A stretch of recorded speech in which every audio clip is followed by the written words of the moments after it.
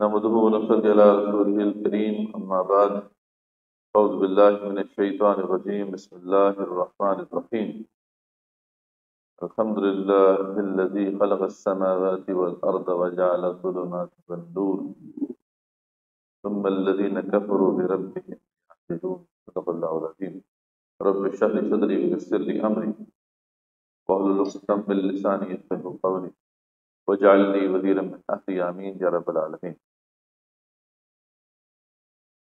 आज हमने इंशाल्लाह सातवां पारा शुरू करना है। छठा पारा हमने कंप्लीट कर लिया था और सातवें पारे का भी कुछ इनिशियल पार्ट हमने कवर कर लिया था। सूरह मायदा हमने कंप्लीट कर ली थी। सूरह मायदा के साथ जो है, ये एक तरह से एक पूरा ग्रुप है सूरतों का, जिसका ज़िक्र मैंने लास्ट टाइम आपसे किया था कि कुरान मजीद में जो सूरतें हैं, वो ग्रुप्स की शक्ल में डिवाइड की गई। अभी जो इस वक्त मुसफ़ की तरतीब है, यानी जो इस वक्त हमारे सामने कुरान है, उसके अंदर जो तरतीब आपको नज़र आती है, अक्सर ये सवाल जहन में आता है, लोग पूछते भी हैं कि ये तरतीब क्या वही है जो नजूली के अतबार से तरतीब थी या दूसरी बात है कि ये नहीं है।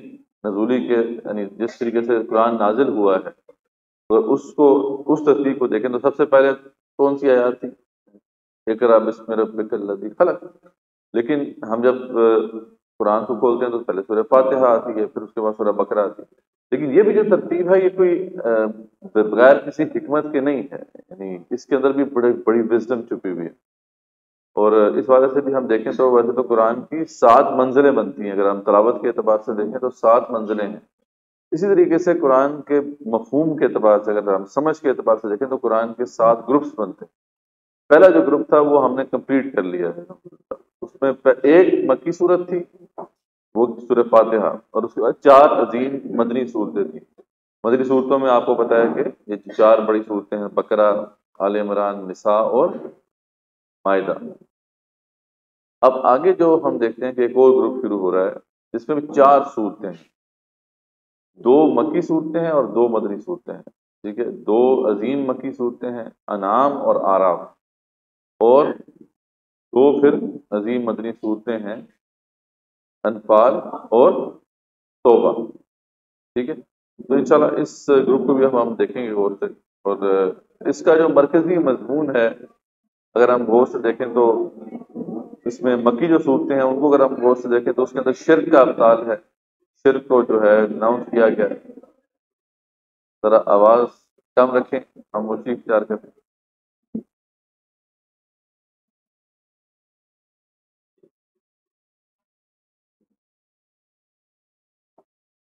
जी। तो इसके अंदर शिर का अब्ताल किया गया है और उसके अलावा ईमानियात जो हैं, यानी ईमान के मुख्त कंपोनेंट्स हैं, उनकी दावत है। और सबका जो कौमें हैं, उनकी तफसीलात बयान की गई हैं। तो इंशाल्लाह ये सब तफसीलात आपके सामने आएँगी आज और कल। हम सूरा नाम और आराम कंप्लीट करेंगे इंशाल्लाह। और उसके बाद फिर जो दो अजीम मदनी सूरतें हैं, अनफाल और तोबा, उनका तो मरकजी मजमून क्या है, आप जानते होंगे, अगर आपने थोड़ा बहुत पढ़ा हो। जिहाद की स्पिरिट यानी अल्लाह ताला के नज़दीक ये बहुत इंपॉर्टेंट मसला है। सूरा बकरा में भी हमने देखा सूरा आल इमरान में भी, निसा और मायदा सब सूरतों में हम देखा कि इस मजमून को ज़रूर जो है रखा गया है। लेकिन ये जो ग्रुप है, जो ग्रुप नंबर टू है, ये डेडिकेटेड है इसी मेन मौजू के ऊपर। तो इंशाल्लाह उसको देखेंगे दो, जो सूरतें हैं सूर्य अनफाल और तोबा। तो आज हम सूर्य नाम का आगाज़ करते हैं। सूर्य नाम अब पहली दफ़ा है कि हम एक एक मुफसल मक्की सूरत को जो है स्टडी करने जा रहे हैं। तो इसको थोड़ा बैकग्राउंड देख लेते हैं। तो इबन अब्बास से मरवी एक रवायत है कि वो फरमाते हैं कि ये सारी की सारी सूरत जो है वो मक्के में नाजिल है, ठीक है? और एक रवायत में रवायत से पता चलता है कि असमा बिनते यजीद के सामने हज़रत जो थी, ये साविया थी जिनके सामने ये सूरत नाजिल हुई और आप पर जब सूरत नाजिल हो रही थी तो आप जो थी ना, उनको देख रही थी आप को कि आप ऊँटनी पर बैठे हुए थे और उसकी बोझ की वजह से ऊँटनी की जो हड्डियाँ हैं उससे चटकने की आवाज़ आती थी मतलब इतना बोझ था उसका। तो ये मंजर उन्होंने अपनी आँखों से देखा और असमा बिन यजीद के बारे में ये क्लियर है कि ये अंसार में से थी और उसी, इसी से मालूम होता है कि गालिबा ये सूरत है, बल्कि काफ़ी इसके अंदरूनी शहादतें भी मौजूद हैं। कि सूरत जो है मक्की दौर में भी एंड में नाजल हुई। मक्की दौर जो है, ये तेरह साल बनते हैं, ठीक है? एक से लेकर फिर तेरह। उसको भी आगे हम सब डिवाइड करेंगे मुख्तफ अदवार में। लेकिन ये समझ लें कि मक्की दौर का भी आखिरी हिस्सा है, जिस दौरान ये सूरत नाजिल हुई। बारह साल गुजर चुके थे उस वक्त तक जुल्म की इंतहा हो चुकी थी। हम देखते हैं कि उस वक्त तक जो है हज़रत हबशा भी वाक़ हो चुकी है। फिर अबू तालिब भी दुनिया से जा चुके हैं, जो आप सल्लल्लाहु अलैहि वसल्लम के लिए बड़ी बड़ी एक प्रोटेक्शन का बायस थे। और फिर आपकी जो शरीका हयात थी, आपकी वाइफ जो शुरू से जिन्होंने साथ दिया, हज़रत खदीजा, हज़रत वो भी दुनिया से जा चुकी थी। यानी दस, नब्बे में ये दोनों दुनिया से जा चुके थे। इसलिए आप वसलम के लिए जो अंदर, घर के अंदर एक तरह से एक तसली का मामला था, वो भी ख़त्म हो गया था। बाहर जो तसली का मामला था अबू तालिब के होने की वजह से वो भी नहीं रहा था। इसलिए आपके लिए बहुत सी मुश्किल थी। और यही वो ज़माना है जब आप जो है हिजरत के लिए कोशिश शुरू आपने कर दी थी। आपको मालूम हो गया था कि यहाँ पे अब आप नहीं रह सकेंगे। तो ये वो कॉन्टेक्स्ट है जिसमें सूरत नाजिल हुई है। इसलिए आपको इससे फिर बहुत से मजामी जो है उनको समझने में आसानी होगी। अच्छा इसके बावजूद आप की दावत जो है वो मुसलसल जारी है।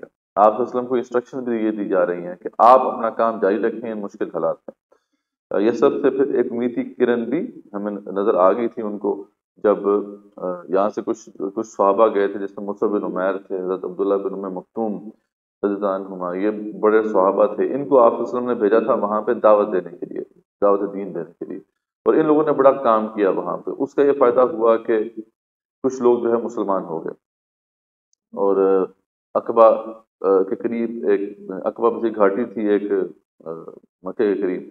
तो वहाँ पे आके पहले बैत अकबा उला हुई और फिर बैत अकबा सानिया हुई। पहली जो बैत थी, उसमें चंद लोग थे जो मुसलमान हुए। लेकिन दूसरी जो बैत थी, उसमें तकरीबन सेवेंटी टू के करीब लोग थे जो कि मुसलमान हुए। और इन्होंने इस दफ़ा जब आए तो रसूल अक्रम को आने की दावत दी कि आप हमारे पास आ जाएँ और हम आपको अपना सरदार बनाएँगे। तो ये अभी बैत अकबाउला आप कह सकते हैं कि हो चुकी थी और एक उम्मीद की किरण थी कि आप वसलम जो थे उनके लिए बिल्कुल अब डेड एंड नहीं है। ठीक है? लेकिन बारह एक मुश्किल हालात थे जो जिसमें ये सूरत नाजिल हुई है। अच्छा अब इसमें जो मजामी कवर किए गए हैं, क्योंकि इसके अंदर अब जो मुशकिन मक्का हैं, उनको एक तरह से उन पर तमाम हजत की जा रही है कि वो अब देखना ये स्ट्रगल तो शुरू हुए, बारह साल हो चुके हैं। उनको बार बार समझाया जा चुका है, ठीक है। अब आखिरी दफ़ा उनको एक दावत दी जा रही है कि देखो, समझ लो, अपनी ये जो अपने शिरक को जो है, जिसको तुमने अपनाया हुआ है, उसको छोड़ दो। और जो बातिल तबाहमात हैं तुम्हारी और सुपरस्टिशंस हैं और तुमने जो रसूमात घड़ी हुई हैं, इन सबको तुम छोड़ो और दीन हक और दीन हनीफ को कबूल करो। फिर ईमान बिलाफत की तरफ़ दावत दी गई है, पुरजोर दावत दी गई ये मक्की सूरतों का खासा है। कि आप देखेंगे मक्की सूरतों में ये ईमानियात पर बहुत ज़्यादा बात की गई। क्योंकि इंसान का अगर ईमान दुरुस्त हो जाए तो बाकी सारा मसला उसका हल हो जाएगा। इसी को आप अगर हम इंग्लिश में करें तो वर्ल्ड व्यू होता है। आपका नज़रिया हयात क्या है? आपका नज़रिया हयात जिस तरह का होगा उसके मुताबिक ही आपका किरदार बनेगा। तो नज़रिया हयात को दुरुस्त करना ये मक्की सूरतों का काम है। फिर ये भी आप देखें कि जिस तरह हर ग्रुप को भी इस तरीके से अल्लाह तला ने जो है वो बनाया है कि सूरतों के ग्रुप्स को कि शुरू में मक्की सूरतें हैं, बाद में मदनी सूरतें हैं। जैसे आप देखते हैं कि अगर आपने किसी को पौधा लगाना है किसी ज़मीन में तो पहले आप उस ज़मीन को तैयार करते हैं ना, उसमें गोडी करते हैं, उसको ज़रा नरम करते हैं। तो बिल्कुल मक्की सूरतों का भी मामला ये है कि ये दिल को नरम करती हैं, दिल को तैयार करती हैं उन अहकाम के लिए जो फिर मदनी सूरतों में। मदरी सूरतें तो बड़ी फिर वाजे है ना, उनमें तो अहकाम आ जाते हैं। लेकिन इंसान की ये नेचर है कि वो अहकाम को कबूल करता नहीं है। इंसान के अंदर एक रिपल्जन है इससे मतलब जब उसको हुक्म आप बयान करेंगे आप कि भाई ये करना है, ये नहीं करना तो इंसान जो है ज़रा चाहता है कि मौज मेला हो ज़रा, है जी? जैसे चाहो जियो तो इंसान तो यही चाहता है। तो इंसान को ये रिस्ट्रिक्शंस पसंद नहीं है, ठीक है? अल्लाह ताला फरमाते हैं, सूरह इकरा में ही आता है ना कि, कल्ला इन इंसान यतवा ठीक है? इंसान तो यानी करना चाहता है। और रहा उस्तगना। ठीक है, वो मतलब कहता है कि मुझे, मुझ पर कोई कोई चेक ना हो। ठीक है जी? तो इसलिए दिल को तैयार करना पड़ता है। और ये दावत का एक असलूब भी है, जब भी आप किसी को समझाना चाहें कोई बात तो ये देख लें कि उसका दिल तैयार भी है कि नहीं है। अगर आप उसको ऐसी बात करेंगे तो वो मतलब उसका काउंटर प्रोडक्टिव होगा वो। तो पहले उसके ईमान पे मेहनत करें, उसको, उसके, उसको देखें कि कहीं उसके ईमान के अंदर को रखना तो नहीं है। कि उसने ये तो नहीं सोचा हुआ कि जी मैं जो मर्ज़ी करूँ, जन्नत मुझे पक्की मिल जाएगी। कन्फर्म जन्नत ही है। ही बात है, फिर अगर वो उसने ये सोचा हुआ है तो आप जो मर्ज़ी बता दें उसे। उसने तो जन्नत वैसे ही कन्फर्म की हुई है तो उससे क्या फ़र्क पड़ेगा? तो पहले करेक्ट करना पड़ेगा उसके उसके इस नज़रियात को। तो यही काम मक्की सूरतों में आप देखते हैं कि अल्लाह ताला ने किया है। मक्की दौर के अंदर पूरी सोसाइटी का जो है दिल, दिलों को तैयार किया गया। उन अहकाम के लिए जो फिर मदीने के अंदर जब आप गए तो वहाँ पर फिर नाजुक होना शुरू हुए। तो आप देखते हैं कि ऐसा ऐसी ज़बरदस्त मेहनत हुई थी दिलों के ऊपर के वो जैसे अहकाम आए तो फिर उनको कबूल कर लिया गया। सिर्फ़ मैंने बताया ना कि कुछ अहकाम थे जो मुश्किल अहकाम थे जिसके बारे में थोड़ी रिलेक्टेंस हुई लेकिन मोस्ट ऑफ़ दी जो इंस्ट्रक्शन थी अल्लाह ताला की, उनको कबूल कर लिया गया। तो इसके अंदर आप देखते हैं ख़ासतौर पर ईमान बिलाखरत की तरफ़ दावत दी गई है। तो वहमात जाहलीत जो थी, इनकी तरदीद की गई जाहली रसूमात जो उन्होंने उखड़ ली थी, हमारे यहाँ भी अनफॉर्चुनेटली पाई जाती ठीक है, हमारे यहाँ आपको पता है तरह तरह की रसूमात हैं, जिनसे कोई ताल्लुक नहीं है इस्लाम के साथ। लेकिन बस एग्जिस्ट करती हैं, और हम, हमारे बड़े बुज़ुर्ग चल रहे हैं, उनके ऊपर हम भी साथ चल रहे हैं। तो ये इस्लाम नहीं है। इस्लाम कहता है कि जो अबाव जिस तरीके पर चल रहे हैं, वो कोई अथॉरिटी नहीं है। अबाव अजदाद अगर दीन हक को हक पर चलते हैं तो उन्हें कबूल करो, नहीं चलते तो फिर उनको भी करेक्ट करो। इस्लाम ये कहता है, इस्लाम का मिजाज बड़े बड़े अखलाकी असूल हैं, उनकी तलकीन की गई है क्योंकि शरीयत का भी स्ट्रक्चर तो यहाँ पे नहीं आया था वो तो मदीने में जाके आया था। लेकिन बड़े बड़े अखलाकी असूल जो है उनको बयान किया गया। नबी अकरम ईमान की दावत पर उठने वाले एतराज़ात का जवाब दिया गया। ये आपको खास तौर पर नज़र आएगा। मैं की सूरतों में एतराज़ात उठ रहे हैं उनकी तरफ़ से मुशकिन की तरफ़ से। और आप को बताया जा रहा है कि इसका ये जवाब है इसकी इस, इसका ये इस एतराज़ के ये जवाब थे और फिर हम देखें दावत के नतज ना निकलने पर तो पर, पर जो दिल शिकस्तगी होती है ये बहुत बड़ा मसला होता है। एक दाई अल्लाह के लिए अगर वो हक पेश कर रहा है अगर तो मीठा मीठा दीन पेश कर रहा है ठीक है तो फिर तो बड़े लोग उसे पसंद करेंगे फिर तो वो सेलिब्रिटी बन जाएगा। लेकिन अगर थोड़ा हक पेश करेगा तो फिर अरबी का मशहूर वो मकूला है कल हक मुर्र हक तो फिर कड़वा होता है हक तो फिर कड़वा होता है। तो वो फिर ऐसा होगा कि जब हक को पेश किया जाएगा तो फिर लोग आगे से उनका रिस्पॉन्स अच्छा नहीं होगा लोग रिजेक्ट करेंगे। दुनिया के तारीख इंसानी में आप देखेंगे बड़े बड़े अम्बिया आए हैं सलाम उन उनके साथ कुछ जमे रवि इकट्ठा नहीं हो सका। ये ये एक है तो अच्छी बात नहीं है। इंसानियत ने ओवरऑल देखे देखा जाए तो दीन हक को कबूल नहीं किया। इंसान एक, एक तरह से ओवरऑल फेल हो गया। ये सबसे बड़ी ह्यूमन ट्रेजेडी है।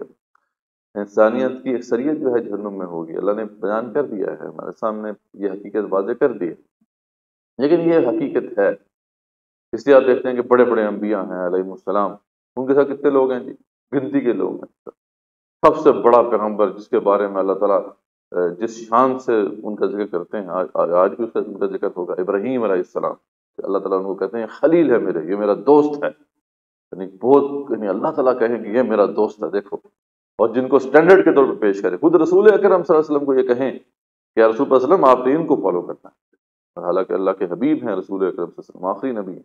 लेकिन उनको भी कहा जाता है कि इब्राहिम अलैहिस्सलाम को फॉलो करना तीन हनीफ पर थे ये।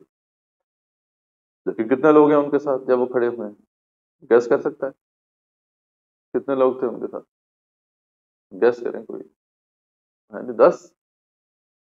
ये भी ज़्यादा बता दिया एक बस कुरान की गवाही, वो आमन लहू लूत, उनके ऊपर से हज़रत लूत अलैहिस्सलाम जो उनके अपने सगे भतीजे थे, वो ईमान लाए। पूरी सोसाइटी में there was no one was there for लेकिन उनकी शान क्या है? अल्लाह के खलील हैं। मूसा मूसा इस्लाम के साथ जब मूसा इस्लाम ने जहाद की कॉल दी, कल हमने पढ़ा, कितने लोग खड़े हुए थे? हैं जी? दो, ठीक है जी। यूशा बिन नून और गालिब बिन जुकन्ना ईसा इस्लाम ने जब अपना पैगाम पेश किया तो कितने लोग साथ थे वो भी हम पढ़ चुके हैं। कितने लोग थे जी? बारह। गिनती के लोग। तो ये दाई अल्लाह के लिए जो है बहुत मुश्किल मामला होता है कि वो एफर्ट कर रहा होता है लेकिन उस एफर्ट का रिज़ल्ट नहीं निकलता। इसलिए उसको फिर तसल्ली की ज़रूरत होती है। अफगान मजीद इस लिहाज से जो है बहुत ही ज़बरदस्त किताब है। इसमें तसल्ली बार बार देखिए। अपने हबीब को भी अल्लाह तसल्ली देते हैं। रसूल अक्रम को बार बार तसली देते हैं और हमें भी तसली देते हैं उनके ज़रिए से। इसमें खासतौर पर तसली जो है, उसका मामला पर नज़र आता है। और फिर मुनकरीन और मुखालफी को जो है तब्दी की गई उनको डराया गया है कि देखो बाद आ जाओ, वरना तुम्हें तबाह कर दिया जाए। मक्की ज़िंदगी जो है, वैसे तो मदनी जो सूरतें होती हैं, उनके बारे में तो आपको एग्जैक्ट पता होता है कि ये सूरत कब नाजिल हुई। क्योंकि उस वाले से कोई हदीस होगी, कोई वाक्य होगा। जैसे पूरा अहजाब है, सबको पता है कि गजब अहजाब इसके कॉन्टेक्स में है। सूरत अभी हम अनफाल पढ़ेंगे, वो गजब बदर के बाद नाजिल हुई। सूरत तोबा जो है गजब तबूक के बाद नाजिल हुई। तो यानी अगर एग्जैक्टली आप बता सकते हैं कि ये कौन सा इवेंट है जिसके कॉन्टेक्स्ट में सूरत नाजिल हो रही है। मकी सूरतों में बारह इस तरह का नहीं होता मामला। उसमें आपको अंदरूनी शातों से देखना पड़ता है कि ये शुरू के दौर की है, ये बाद के दौर की है।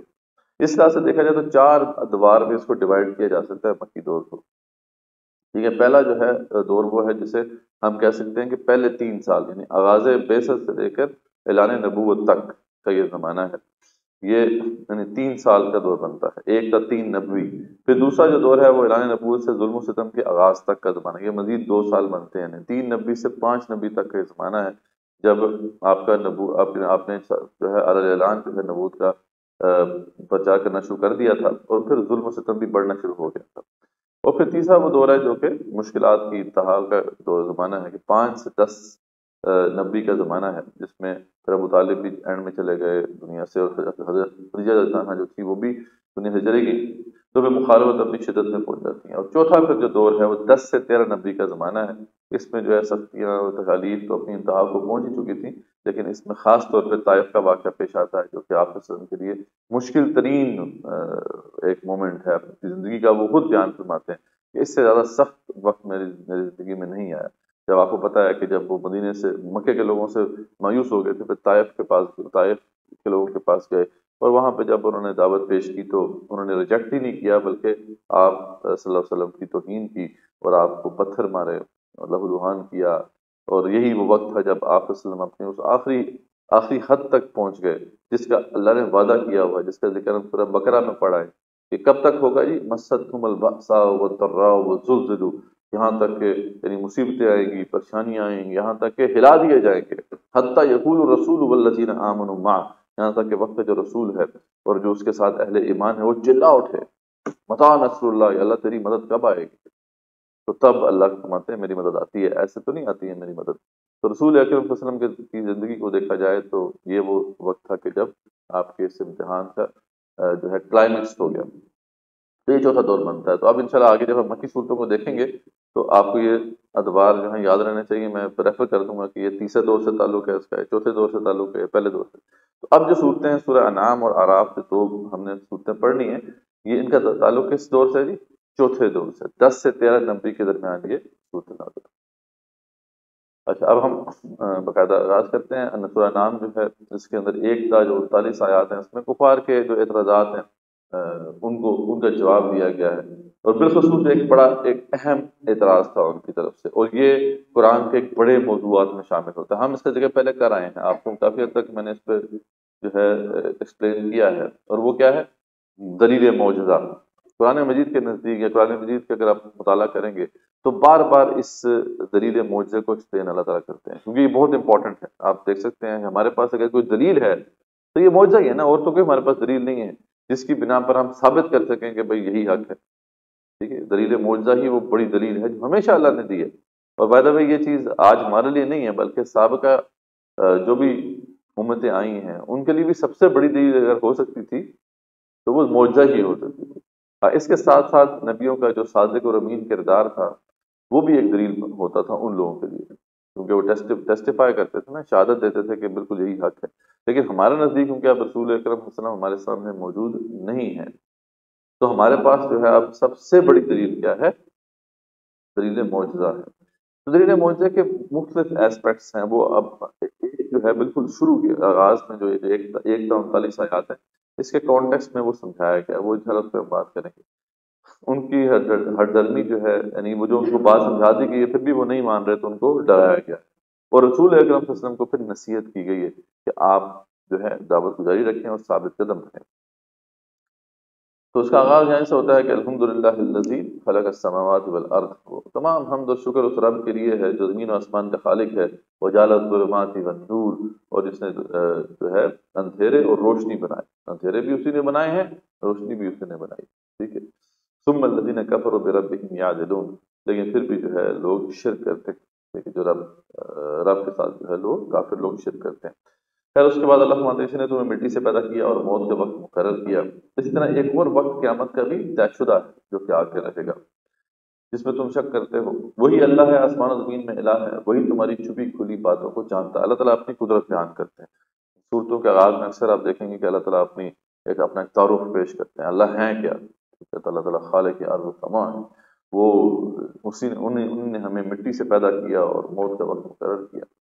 अब जो पहला एतराज़ है, उस पर बात आती है कि आप फरमाइशी मौजा कोई दिखाएँ। ये उनका एक ना एक बड़ा ही, जिसे कहते हैं ना कि बार बार दोहराए जाने वाला एक एतराज़ था कि आप हमें वो मौजा क्यों नहीं दिखाते जो हम डिमांड कर रहे हैं? ठीक है जी? अब मौजा तो आ चुका था। और वो तो कुरान मजीद था, उसके बारे में ज़िक्र हो चुका था। यानी सुरह हूद आ चुकी थी, सुरह यूनस आ चुकी थी, इन दोनों सूरतों के अंदर कुरान का मौजा पेश कर दिया कर दिया गया था। अब अब लेकिन वो कह रहे थे कि हम जो फरमाइश कर रहे हैं ना, वैसा मौजा दिखाएँ कभी कहते थे जी, आपके पास कोई नखलिस्तान हो, कभी कहते थे कि आपके साथ कोई फिश्ता हो, हम उसे देख लें। कभी कहते थे कि जी, हम अल्लाह तला से खुद बात कर लें। तो इस तरह की वो उन्होंने तकरार शुरू की थी। और ये तकरार बड़े अरसे से जारी थी, यानी तकरीबन इसको ना कई साल हो चुके थे।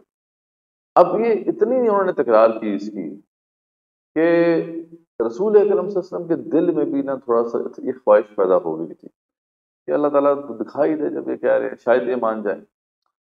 ये सारा, सारी बहस है इसके कॉन्टेक्स्ट में। आपको तंग किया जा रहा है बार बार और आप के दिल में आपकी ख्वाहिश पैदा हो रही है। आप उड़ भी रहे हैं कि आप क्या करें जवाब करें अच्छा अब इसका जवाब अल्लाह ताला बार बार यहाँ पर समझा रहे हैं। रसूल वसलम को अच्छा इस दौरान ना आप वसलम को अल्लाह ताला समझा भी रहे हैं। रसूल वसलम ये आपकी ऐसी बातें कर रहे हैं। ये फरमाइशी मौजा भी अगर देख लेंगे ना तो ये नहीं माने। ठीक है? तो आप बस अब इनको यही मौजा पेश करें। तो पिछली कौमों को भी मौजा दिखाया गया, लेकिन वो नहीं माने। और हलाक हुई। वो कौमें भी तो हलाक हुई ना। इनको भी अगर दिखा देंगे इस तरह का मौजा तो फिर ये भी नहीं मानेंगे अच्छा ये तारीख इंसानी में एक दफ़ा हुआ है। और कुरान भी इस पर एक तरह से इशारा करता है, सूरह इसरा, सूरह बनी सईद में इसकी तरफ़ इशारा आएगा। कि एक ऐसी कौम थी जिसको अल्लाह तला ने यह प्रिवलेज दी थी कि कौम से पूछा गया कि आप किस किस्म का मौजा देखना चाहते हैं। ठीक है? अच्छा कौम ने फिर सोचा, गौर किया, आपस में बहस मुबासा किया और फिर मिल के जनाब उन्होंने जो अपने रसूल से रसूल से कहा था बख्श रसूल सलाम ये हमारा फैसला है कि ये मौजा आप दिखा दें तो हम मान जाए। अच्छा अल्लाह ने वही मौजा दिखा दिया। लेकिन फिर भी अक्सरियत नहीं माना। तो इंसान है ही अवसर का। तो अल्लाह ताला ने फिर इस, इसको जो है ख़त्म कर दिया था इस सिलसिले को। उसकी वजह यह है कि फरमाइशी मौजा देखने के बाद अगर कोई नहीं मानता तो फिर उसे मोहरत नहीं मिलती। फ़ौरन अजाब आता है। तीन दिन के बाद उनके ऊपर अजाब आ जाता है। ये कौन सी कौन सी थी है जी? हज़रत इस्लाम की ये एक ही कौम थी। जो जिनको ऊंटनी का मुद्दा दिखाया गया था। ये कौम के जो लोग थे, उनसे पूछा गया था और उन्होंने बाकायदा सोचा था और सोच के बताया था कि हमने ये फैसला किया सामने जो पहाड़ है ये फटे, इसमें से एक हामला ऊंटनी निकले और आधे साथ ही बच्चा रहे। अब ये इसमें इतनी चीज़ें, यानी वो अनसर्टेनिटीज थी। अल्लाह ने उनको बिल्कुल वैसे ही वो एक मौजा दिखा दिया। लेकिन उसके बावजूद बावजूद जैसे मैंने बताया कि ये नहीं माने तो फिर इनको फ़ौरन तीन दिन की मोहलत दी गई थी, उसके बाद इनको हलाक कर दिया गया था। तो आगे हम इनके इनके हालात भी पढ़ेंगे। तो अल्लाह ने फिर ये फैसला किया कि आप हमें ये नहीं दिखाएँगे। पीछे हम वो वाक्य पढ़ चुके हैं। दूसरी दफ़ा ये होने वाला था, जब ईसा के जो साथी थे, हवारी थे पूरा मायदा का नाम भी इसलिए मायदा है, क्योंकि उसमें उस मायदे का मायदे का ज़िक्र है कि जिसका जो मुतालबा किया था हवारियों ने। क्या कहा था जी उन्होंने? हाँ जी, अल्लाह तला से कहें कि जी दस्तक खान उतार दें। अभी फरमाइश कर रहे हैं ना? मौजाद कितने बड़े बड़े देख लिए उन्होंने। मतलब उनका कहना बनता था, यानी ईसा इस्लाम के जो मौजात हैं, और किसी पैगंबर को इतने बड़े मौजात नहीं दिए गए। मुर्दा को ज़िंदा करते थे। और क्या अल्लाह के इज़्ज़त से? मूर्ति जो थी, उसमें भूख मारते थे, वो मूर्ति ज़िंदा हो जाती थी। उनको तो अब मतलब उनका सवाल बनता नहीं था, लेकिन उन्होंने भी फरमाइशी मौजा कहा जी आप ऐसा करेंगे, आसमान से इस तरह दस्तखान उतरे। अल्लाह ने क्या कहा था? ठीक है, मैं नाजर करने वाला हूँ फिर। लेकिन उसके बाद किसी ने इनकार किया तो उसको वो सजा दूँगा जो फिर पूरे जहान वालों में किसी को ना दिए। अल्लाह ने इसलिए इसको ख़त्म कर दिया था सिलसिले को। अब ये मुश्किन तंग कर रहे हैं बार बार आप परेशान हो रहे हैं। तो अल्लाह ताला उनको समझा रहे हैं आप को। देखें ये नहीं मानेंगे। इनको भी कुरान बतौर मौजे के दिखा दिया गया है। इसलिए नहीं मानेंगे तो हलाक हो जाएँगे। मतलब ये इनको बताएँ इसलिए अल्लाह हम कोई कागज़ का टुकड़ा भी नाजिल कर देते और ये उसको हाथ से छू भी लेते, तब भी ना मानते। ठीक है? इसलिए आप बस मतलब इनकी बातों में ना आए। फिर दूसरा एतराज़ क्या था? कैसे कोई फरिश्ता क्यों नहीं भेजा गया? ये क्या बात है ये तो हमारे जैसे इंसान है। अच्छा हर पैगंबर को ये जो है एतराज़ किया गया है। हर पैगंबर पे ये एतराज़ किया गया ये क्या बात है? हम ही जैसा इंसान जो है, वो आगे कह रहा है, जी, मैं तो पैगंबर हूँ। मेरी बात मानो। तो अल्लाह ताला ने भी इसके बहुत बार बार जवाब दिए हैं। यहाँ पे भी अल्लाह ताला जवाब देते हैं। अल्लाह कहते हैं कि देखो, हम फरिश्ते ऐसे नहीं भेजते, जब वो आता है तो फिर काम तमाम कर दिया जाता है। फरिश्ते ऐसे तो नहीं आते। और दूसरी बात यह कि फरिश्ते आएँगे तो तुम तुम मतलब कैसे उनको देख सकोगे? कैसे उनके साथ इंटरेक्ट कर सकोगे? वो तो मखलूक ही डिफरेंट है। खुद रसूल अक्रम में जब इस्लाम को देखा था, अपनी असल शक्ल में तो आपके ऊपर कब कभी तारी हो गई थी। वो पूरा उफक छाया हुआ था उनके उनके हुजन से जबईसलाम से, पूरे आसमान पर छाए हुए थे। और फिर वो आप जो थे वो कप भी तारी हुई और आप फिर गए थे, जब मिलू नहीं और कहा था कि मुझे ओढ़ो, चादर ओढ़ो खिजा के पास गए थे तो अल्लाह फरमाता अगर भेज भी देते तो उसे इंसानी शक्ल में ही भेजना था ना। मतलब ये कैसी इलॉजिकल बात कर रहे हैं? जो फरिश्ता क्यों नहीं आया? पर फरिश्ता अगर आ भी जाता तो असल फरिश्ते फरिश्ता जो अपनी असलियत में है, अपनी असल शक्ल में वो तो सामने नहीं आ सकता था। वो तो इंसान की शक्ल में आना था, क्योंकि फरिश्ते को ये देख नहीं सकते और इस पर भी वो यही इतराज करते अच्छा अगर फरिश्ता आ भी जाता तो कहता जी फिर इंसान क्यों नहीं आए थे? हम तो इंसान है, हमें, हमारी तरफ़ इंसान तो वही बात है, जिससे मैंने कहा था ना, वो पंजाबी की जो मशहूर कहावत है कि मन खराब भी हुजना टेर। मन खराब हो जाए तो फिर हुजते तो बड़ी इसलिए इन एतराज़ात की परवाह किए बगैर आप उनको आखिरत का खौफ दिलाएँ, उनको डराएँ कि देखो, खौफ करो। और ये बताएँ सब बल्कि अल्लाह के पास है, वो अलग बात है कि जिसने नहीं मानना, वो नहीं मानेगा। इनसे पूछें कि इसके सिवा कोई और भी है जो खालिक और राजिक अच्छा ये जरा पूछे इनको छोड़ेंगे इस बहस से बाहर निकलते हैं। ये बताओ कि खालिक और राजिक अल्लाह के सिवा कोई और है? अच्छा मुश्किन मक्का जो थे, वो अल्लाह को मानते थे। वो अल्लाह को खालिक भी मानते थे, अल्लाह को राजिक भी मानते थे, ठीक है? शिरक बस करते थे। अल्लाह ताला की कई सिफात के अंदर शिरक करते थे। तो अल्लाह फरमा रहे हैं कि सुपर सिस्टम इनसे ये ज़रा पूछें कि तो मैं तो किसको, और किसको अल्लाह को, और किसको अपना महबूद बनाऊँ? वही महबूद महबूद होने का हक रखता है कि जिसने हमें तकलीफ़ किया है, जो राजिक भी है। आज जवाब दें कि मैं ऐसा नहीं कर सकता जो तुम मुझे कह रहे हो। इनकी मुखालफत की परवाह ना करें कि आप अब कुछ भी बिगाड़ नहीं सकते, आप अपना काम जारी रखें। अच्छा फिर उसके बाद अल्लाह फरमाते हैं, रसूल को तसली देते हुए कि आप परेशान मत हों आपकी सदाकत पर मैं गवाह अल्लाह कहते हैं, अगर ये नहीं मानते, सबसे बड़ी बात क्या है? मैं गवाह हूँ तो आपको क्या टेंशन है? मैं कह रहा हूँ ना आप सच्चे हैं तो बस आप सच्चे हैं। और दूसरी बात यह है कि इसकी और अल्लाह की जो किताब है वो गवाह है, ये कुरान मजीद गवाह है, और आपको क्या चाहिए? यासीन व कुरान लकीम इन का नमिनसली कुरान मजीद इस पर गवाह है कि आप अल्लाह के रसूल हैं तो आपको परेशानी की कोई ज़रूरत नहीं है। आप कुरान के ज़रिए से सबको बाखबर करते रहें, जैसा कि आपको हुक्म है। अगर वो गवाही ना दें तो आप पर जो है बरमला तोहीद का इकरार, आप अपना, अपनी तौर पर तो बरमला तोहीद का इकरार करें और मुश्किलों से आने बरात करें। पहले किताब भी आपकी हकानियत को अच्छी तरह पहचानते हैं। यानी ये बताया गया कि वो इस तरह पहचानते हैं आपको जैसे अपने बच्चों को पहचानते मतलब अब वो ना माने तो ना माने, ठीक है, लेकिन उनकी किताबों में आज भी मौजूद है। आपने सुना होगा, डॉक्टर जाकिर नाइक जो है वो रेफरेंस देते हैं।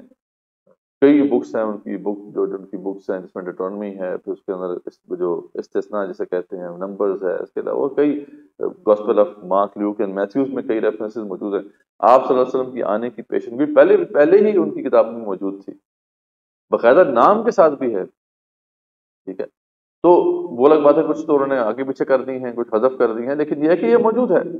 तो अल्लाह मानते हैं, अहले किताब से भी आप पूछ लें तो जो सच्चे अहले किताब है, वो भी इस बात की तस्दीक करेंगे। तो आपको परेशानी परेशान होने की ज़रूरत नहीं है। अल्लाह पर झूठ करने वाले और कुफर करने वाले जालिम और हरगिज कामयाब नहीं होंगे। मुश्किल से पूछा जाएगा कि कहाँ है शरीक तो वो अल्लाह के सामने भी कसम खाए अल्लाह कहते हैं कि ये तो ऐसे ना हंजार हैं, ऐसे उल्टे सीधे लोग हैं ये। आप तो कह रहे हैं ना कि इनको समझाएँ और ये नहीं समझते। अल्लाह कहते हैं कि क्यामत वाले दिन, अब ये वैसे बड़ी अजीब बात है। ये एक ही मुकाम पे कुरान में अल्लाह ने ये बयान की है बात, लेकिन ये इतनी अजीब बात है कि बंदा हैरान होता है। अल्लाह फरमाते हैं कि ये मेरे सामने रोज़े मैशे खड़े हो गए कसम खाएँगे। अल्लाह पा की कसम, अल्लाह ताला हमने ये शिरक नहीं किया अल्लाह के सामने खड़े हो गए। मतलब खुद मैं इमेजिन करें ना, शायद ये क्या ये कहेंगे, ये फरिश्तों ने झूठ लिखा है कि फ्रॉड हो गया हमारे साथ। हमने तो किया ही नहीं शिरक। यानी उनके ये कौल है अल्लाह अन, अन कालू उनका ये कौल होगा इस इसके और कोई कौल नहीं होगा। कि वल्लाह रबिना कसम है रब तेरी। अल्लाह ताला कसम है तेरी। माँ कुन्ना मुश्किन हमने तो शक नहीं किया। तो अल्लाह कहते हैं ये ऐसे लोग हैं ये उधर की मतलब जो है सख्ती भी इनके ऊपर असर असरअंदाज नहीं होगी। ये ऐसे फ्रॉडिया लोग हैं ऐसे दो नंबर।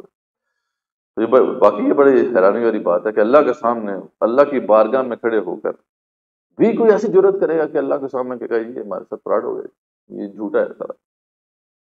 तो इनमें से कुछ लोग कान लगाकर सुनते तो हैं, पर उनके दिलों पर पर्दे पड़े अल्लाह मानते हैं इनके दिल जो है, उनको हमने बंद कर दिया है। इसलिए अब चाहे ये हर किस्म की निशानी या मोजा ही क्यों ना देख लें, ये ईमान लाने वाले नहीं कुरान सुनकर कहते हैं कि पुराने किस्से हैं, वही बात। अब उल्टी सीधी बातें करते थे कहते ये तो पुराने पुराने किस्से हैं, हम क्यों माने? तो आप देखेंगे जब ये लोग आखिर में अल्लाह के सामने खड़े होंगे तो अपने कुफर पर हसरत करेंगे। आप बस अभी इनको दावत देते हैं इस तरह वो ये कहते हैं कि हम दोबारा नहीं उठाए जाएँगे। काश आप देखें जब ये रब के सामने खड़े किए जाएँगे तो फिर ये हसरत करेंगे। आज तो ठीक है, ये बातें कर रहे हैं। इन सबको सोचना चाहिए कि दुनिया की आखिर के आखिर दुनिया की ज़िंदगी जो है वो खेल तमाशा है। और आखिर के घर जो है मुतकीन के लिए बेहतर है। इसलिए इनको ये सोचना चाहिए। खौफ खाना चाहिए कि ऐसी बातें ना करें। हक जो पेश किया जा रहा है उसे कबूल कर लें। रसूल हम जानते हैं कि आपको उनकी बातें गमगीन करती हैं। अब यहाँ पे अल्लाह ताला रसूल को एक तरह से तसली भी दे रहे हैं, उनको समझा भी रहे हैं।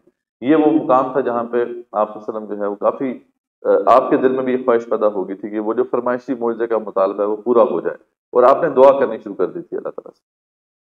तो अल्लाह फरमाते हैं कि हमें पता है कि आपके, आपको इनकी बातें गमगीन करती हैं। लेकिन दरअसल ये आपको नहीं जुटला रही है तो अल्लाह की आप का इनकार कर रहे हैं। यानी आप देखें तो सही, मोहम्मद बिन अब्दुल्ला जो है इनसे तो उनको मसला नहीं है। ये तो आपसे मोहब्बत करते थे। जब तक कि आप मोहम्मद बिन अब्दुल्ला थे तो आप इनके लिए महबूब थे। ये तो मसला किससे? मोहम्मद रसूल से। तो देखें, असल में तो ये हमारा इनकार कर रहे हैं ना। तो आपका तो इनकार नहीं कर रहे हैं। ये तो नस्बत हमारी है जिसकी वजह से आपका इनकार हो रहा है। तो आप परेशान मत हो। ठीक है, आखिरकार अल्लाह की मदद आकर रहेगी। अब यहाँ पे वो फिर सख्त आयत अल्लाह तला ने नाजिल फरमाई अल्लाह फरमाते हैं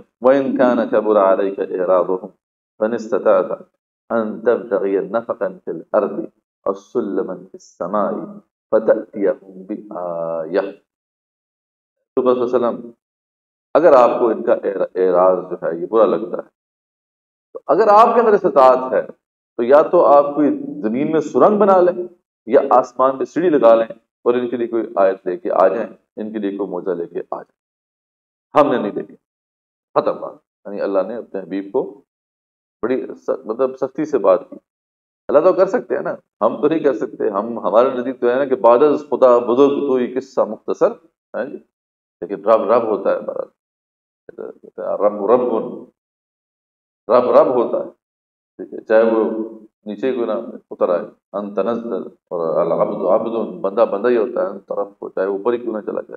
तो अल्लाह के बंदे हैं, अल्लाह इंसान इस तरह बात कर सकते हैं। हम तो बरल अदब से ही बात करें कि हम तो इससे आगे नहीं पढ़ सकते। अल्लाह ताला फरमाते हैं बलोशाहदा अगर अल्लाह चाहता तो उनको वैसे ही हदायत पर ले आता। अल्लाह को मुआवजे की भी ज़रूरत नहीं थी। अगर आप सोचें, अल्लाह को क्या ज़रूरत है कि मुआवजा दिखाकर किसी को जो है हक पर लेकर आए। तमाम इंसानों के दिल अल्लाह के हाथ में एक दम है में अल्लाह ताला जो है सबको अपना जो है मोमिन बना दे। अल्लाह मानते हैं, अगर मैं चाहता तो मैं वैसे ही इनको हदायत पर ले जाता बला तक मेरा जाहिरीन तो अल्लाह ताला फरमाते हैं, आप नादानों में से ना बन। नादान बनकर इस तरह मुझसे मुतालबा ना करें। ये थोड़ी एक तरह सख्ती से बात की खैर, वो कहते हैं कि आप हमारे लिए फरमाइशी मौजाद क्यों नहीं दिखाता? अब इस पर अल्लाह ने हमत बयान की। आप वसलम को भी समझाया और उनके ज़रिए से हमें भी समझाया। अल्लाह फरमाते हैं कि जो आप कह रहे हैं कि इनको फरमाइशी मौजा दिखा दें। अगर ऐसा कोई हम फरमाइशी मौजा या कोई ऐसा मौजा दिखा दें कि जिसकी वजह से ये बेख्तियार जो है ईमान पर आ जाए तो फिर इनमें और जानवरों में क्या फ़र्क रह जाएगा तो जानवर जो हैं, जितने भी हैं, जितने भी नबातात हैं, हैवानात हैं, पौधे हैं, जानवर हैं ये तो लाजमन अल्लाह ताला की बंदगी करने पर हैं, लगे हुए हैं। यानी ये ये चू चुरा नहीं कर सकते। इनके पास इख्तियार ही नहीं दिया अल्लाह ताला ने। ठीक है? अगर अल्लाह फरमाते मैं ऐसा मौजा इनको दिखा दूँ, ऐसी निशानी दिखा दूँ, कि जिसकी वजह से बेख्तियार इनके दिल जो है, वो मेरी तरफ़ मुड़ जाए और ये मान ले आए तो फिर तो इनका इख्तियार खत्म करने वाली बात है ना। अगर मैं इनका इख्तियार खत्म कर देता हूँ तो फिर इनकी वजह फजीलत क्या रह जाती है? फिर ये इंसान मैंने बनाया क्यों है? फिर इनको मैंने अशर मखलूक क्यों बनाया है? फिर इनको इस टेस्ट में क्यों डाला है जो जो जो इन्होंने कबूल किया था? तो आप समझे कि ये तो जो जो आप मुताबा मुझसे कर रहे हैं, अगर मैं करता हूँ तो फिर इस इंसान इंसान को जो खलीफा बनाया गया है या इसकी जगह और उसको इस दुनिया में भेजा गया है, कायनात, इसके लिए तकलीफ़ की ये ये सब जो है नल एंड वाइट हो जाता है। इसकी कोई हैसियत नहीं रहती है। तो अल्लाह ने यहाँ पे समझाया कि देखो देखें उस पर अगर मैं ऐसा करूँगा तो इन, ये इंसान जो है परिंदों और चुपायों की तरह बेख्तियार हो जाएगा। और फिर इसकी जो अजमत है उसका एजाज इसी में पिन्हा है वो ख़त्म हो जाएगी। इसको समझें मैं ऐसा नहीं करूँगा। और भी मुकाम पे क्योंकि ये सिलसिला काफ़ी अर्से से चल रहा था ना बताया कि कई साल तीन चार साल ये जो थे ना खासतौर पर दस से तेरह नबी के दरमियान जो सूरतें नाजिल हुई हैं जिसमें सूरज शौरा भी है उसमें उसमें भी ये बात आती है तो सूरज शौरा में अल्लाह फरमाते हैं कि हम इसमें पूरा अख्तियार रखते हैं। हम एक ऐसा, ऐसी निशानी इनको दिखाएँ कि बेख्तियार इनके सर हमारे सामने झुक जाए। इनकी क्या मजाल है कि मेरे सामने इस तरह जो है इनकार की रोज पे खड़े रहे। लेकिन अल्लाह कहते हैं, मैं करूँगा नहीं ये। फिर तो जवाब खत्म हो जाएगा। तो ये सारी बिजदम है। आप समझाई बात की कि जो है, अल्लाह तला ने दिखाया है हमेशा। अल्लाह को पता है कि मुआवजे के बगैर ये बात नहीं समझेंगे। लेकिन फरमाइशी मुआवजात जो है, ये जरी बात है, ये एक ऐसा मुतालबा है कि जिसकी कोई तुक बनती नहीं। उसके बाद आयत number forty two, forty nine ने मुशकिन को जो है डराया गया अगर कोई अजाब या क्यामत आ जाए तो किसको पुकारोगे फिर? बताओ। सिर्फ़ अल्लाह ही को पुकारोगे तो फिर वो दूर कर देगा तुम्हारी मुश्किल को और तुम उसके शरीकों को भूल जाओगे। और वो ऐसे ही करते थे जब कभी समुद्री सफ़र होता था, वहाँ पे कोई तूफ़ान आ जाता था तो उस वक्त जो है ना वो लात मना तो उज्जा सब भूल जाते थे, अल्लाह को पुकारते थे। तो उस वक्त अल्लाह को पुकारते बल्कि इकरमा में नबी जहल बहुत बड़े बाद में स्वाबी बन के हालाँकि अबू जहल के बेटे थे और बड़े सख्त दुश्मन थे इस्लाम के। तो वो मुसलमान भी इसी तरह हुए थे। जब वो ईरान बरात हो गया था सूरत तोबा के अंदर आएगा, हम देखेंगे कि यहाँ से निकल जाओ, वरना तुम्हें कत्ल कर दिया जाएगा, मार दिया जाएगा। तो वो वहाँ से निकले तो समुद्री सफ़र पे जाना था ना, उन्होंने जहाज़ में बैठे तो रास्ते में तूफ़ान आ गया। तूफ़ान आया तो उन्होंने लात मनातुजा को छोड़ दिया और अल्लाह को पुकारना शुरू कर दिया। अच्छा तूफ़ान, जब तूफ़ान टल गया तो उन्होंने उससे पूछा कि भाई हमारा झगड़ा क्या है फिर मोहम्मद वसल्लम के साथ? तुमने यहाँ पे अल्लाह को पुकारा है। वो भी कह रहे हैं, अल्लाह को पुकारो। इधर लात मनातुजा किधर गए? तो वो कहते हैं, जी, हमारा एक्सपीरियंस ये बताता है कि लात मनातुजा को पुकारने से फ़ायदा नहीं होता। तो जब हम समंदर में तूफ़ान आ जाता है ना तो फिर अल्लाह को पुकारते हैं तो फ़ायदा होता है। तो वही बात बात समझने का एक मोमेंट होता है। यार, यही मसला तो फिर वही बता रहे मोहम्मद वसल्लम। छोड़ो यार, वापस गए, मुसलमान हुए और बहुत बड़े फिर मुजाहिद बने। जंगे अरबन जो है जो रोमन्स के खिलाफ जो आखिरी जरमूक थी, जो जंग उसके अंदर शहीद हुए। खैर तो अल्लाह फरमाते हैं, फलम्मा नसूमा के रूबी जब ये इन्होंने भुला दिया, जब हमने इनको नसीहत की थी नसीहत की थी फतकना अलकुल शई तो हमने इनके ऊपर हर किस्म के दरवाजे खोल दिए। यहाँ पे आप कौमों के अरूज और जवाल का एक पूरा फलसफा है जो कुरान बयान करता है। आप अगर किसी कौम को देखें कि, किसी मुसलमान कौम को देखें कि उनके करतूत तो ठीक नहीं हुए, वो अल्लाह के अहकाम को तोड़ रहे हैं। लेकिन उनके अदाद शुमार जो है ना, अच्छे होना शुरू हो जाते हैं। उनकी जी डी पी बढ़ना शुरू हो गया। उनकी इकॉनमी बड़ी बूम कर रही है, ठीक है जी? तो इसका मतलब है कि अब मामला कुछ हो रहा है। इसका मतलब है कि इनके अब खात्मे की जो है ना, वो गिनती शुरू हो चुकी है।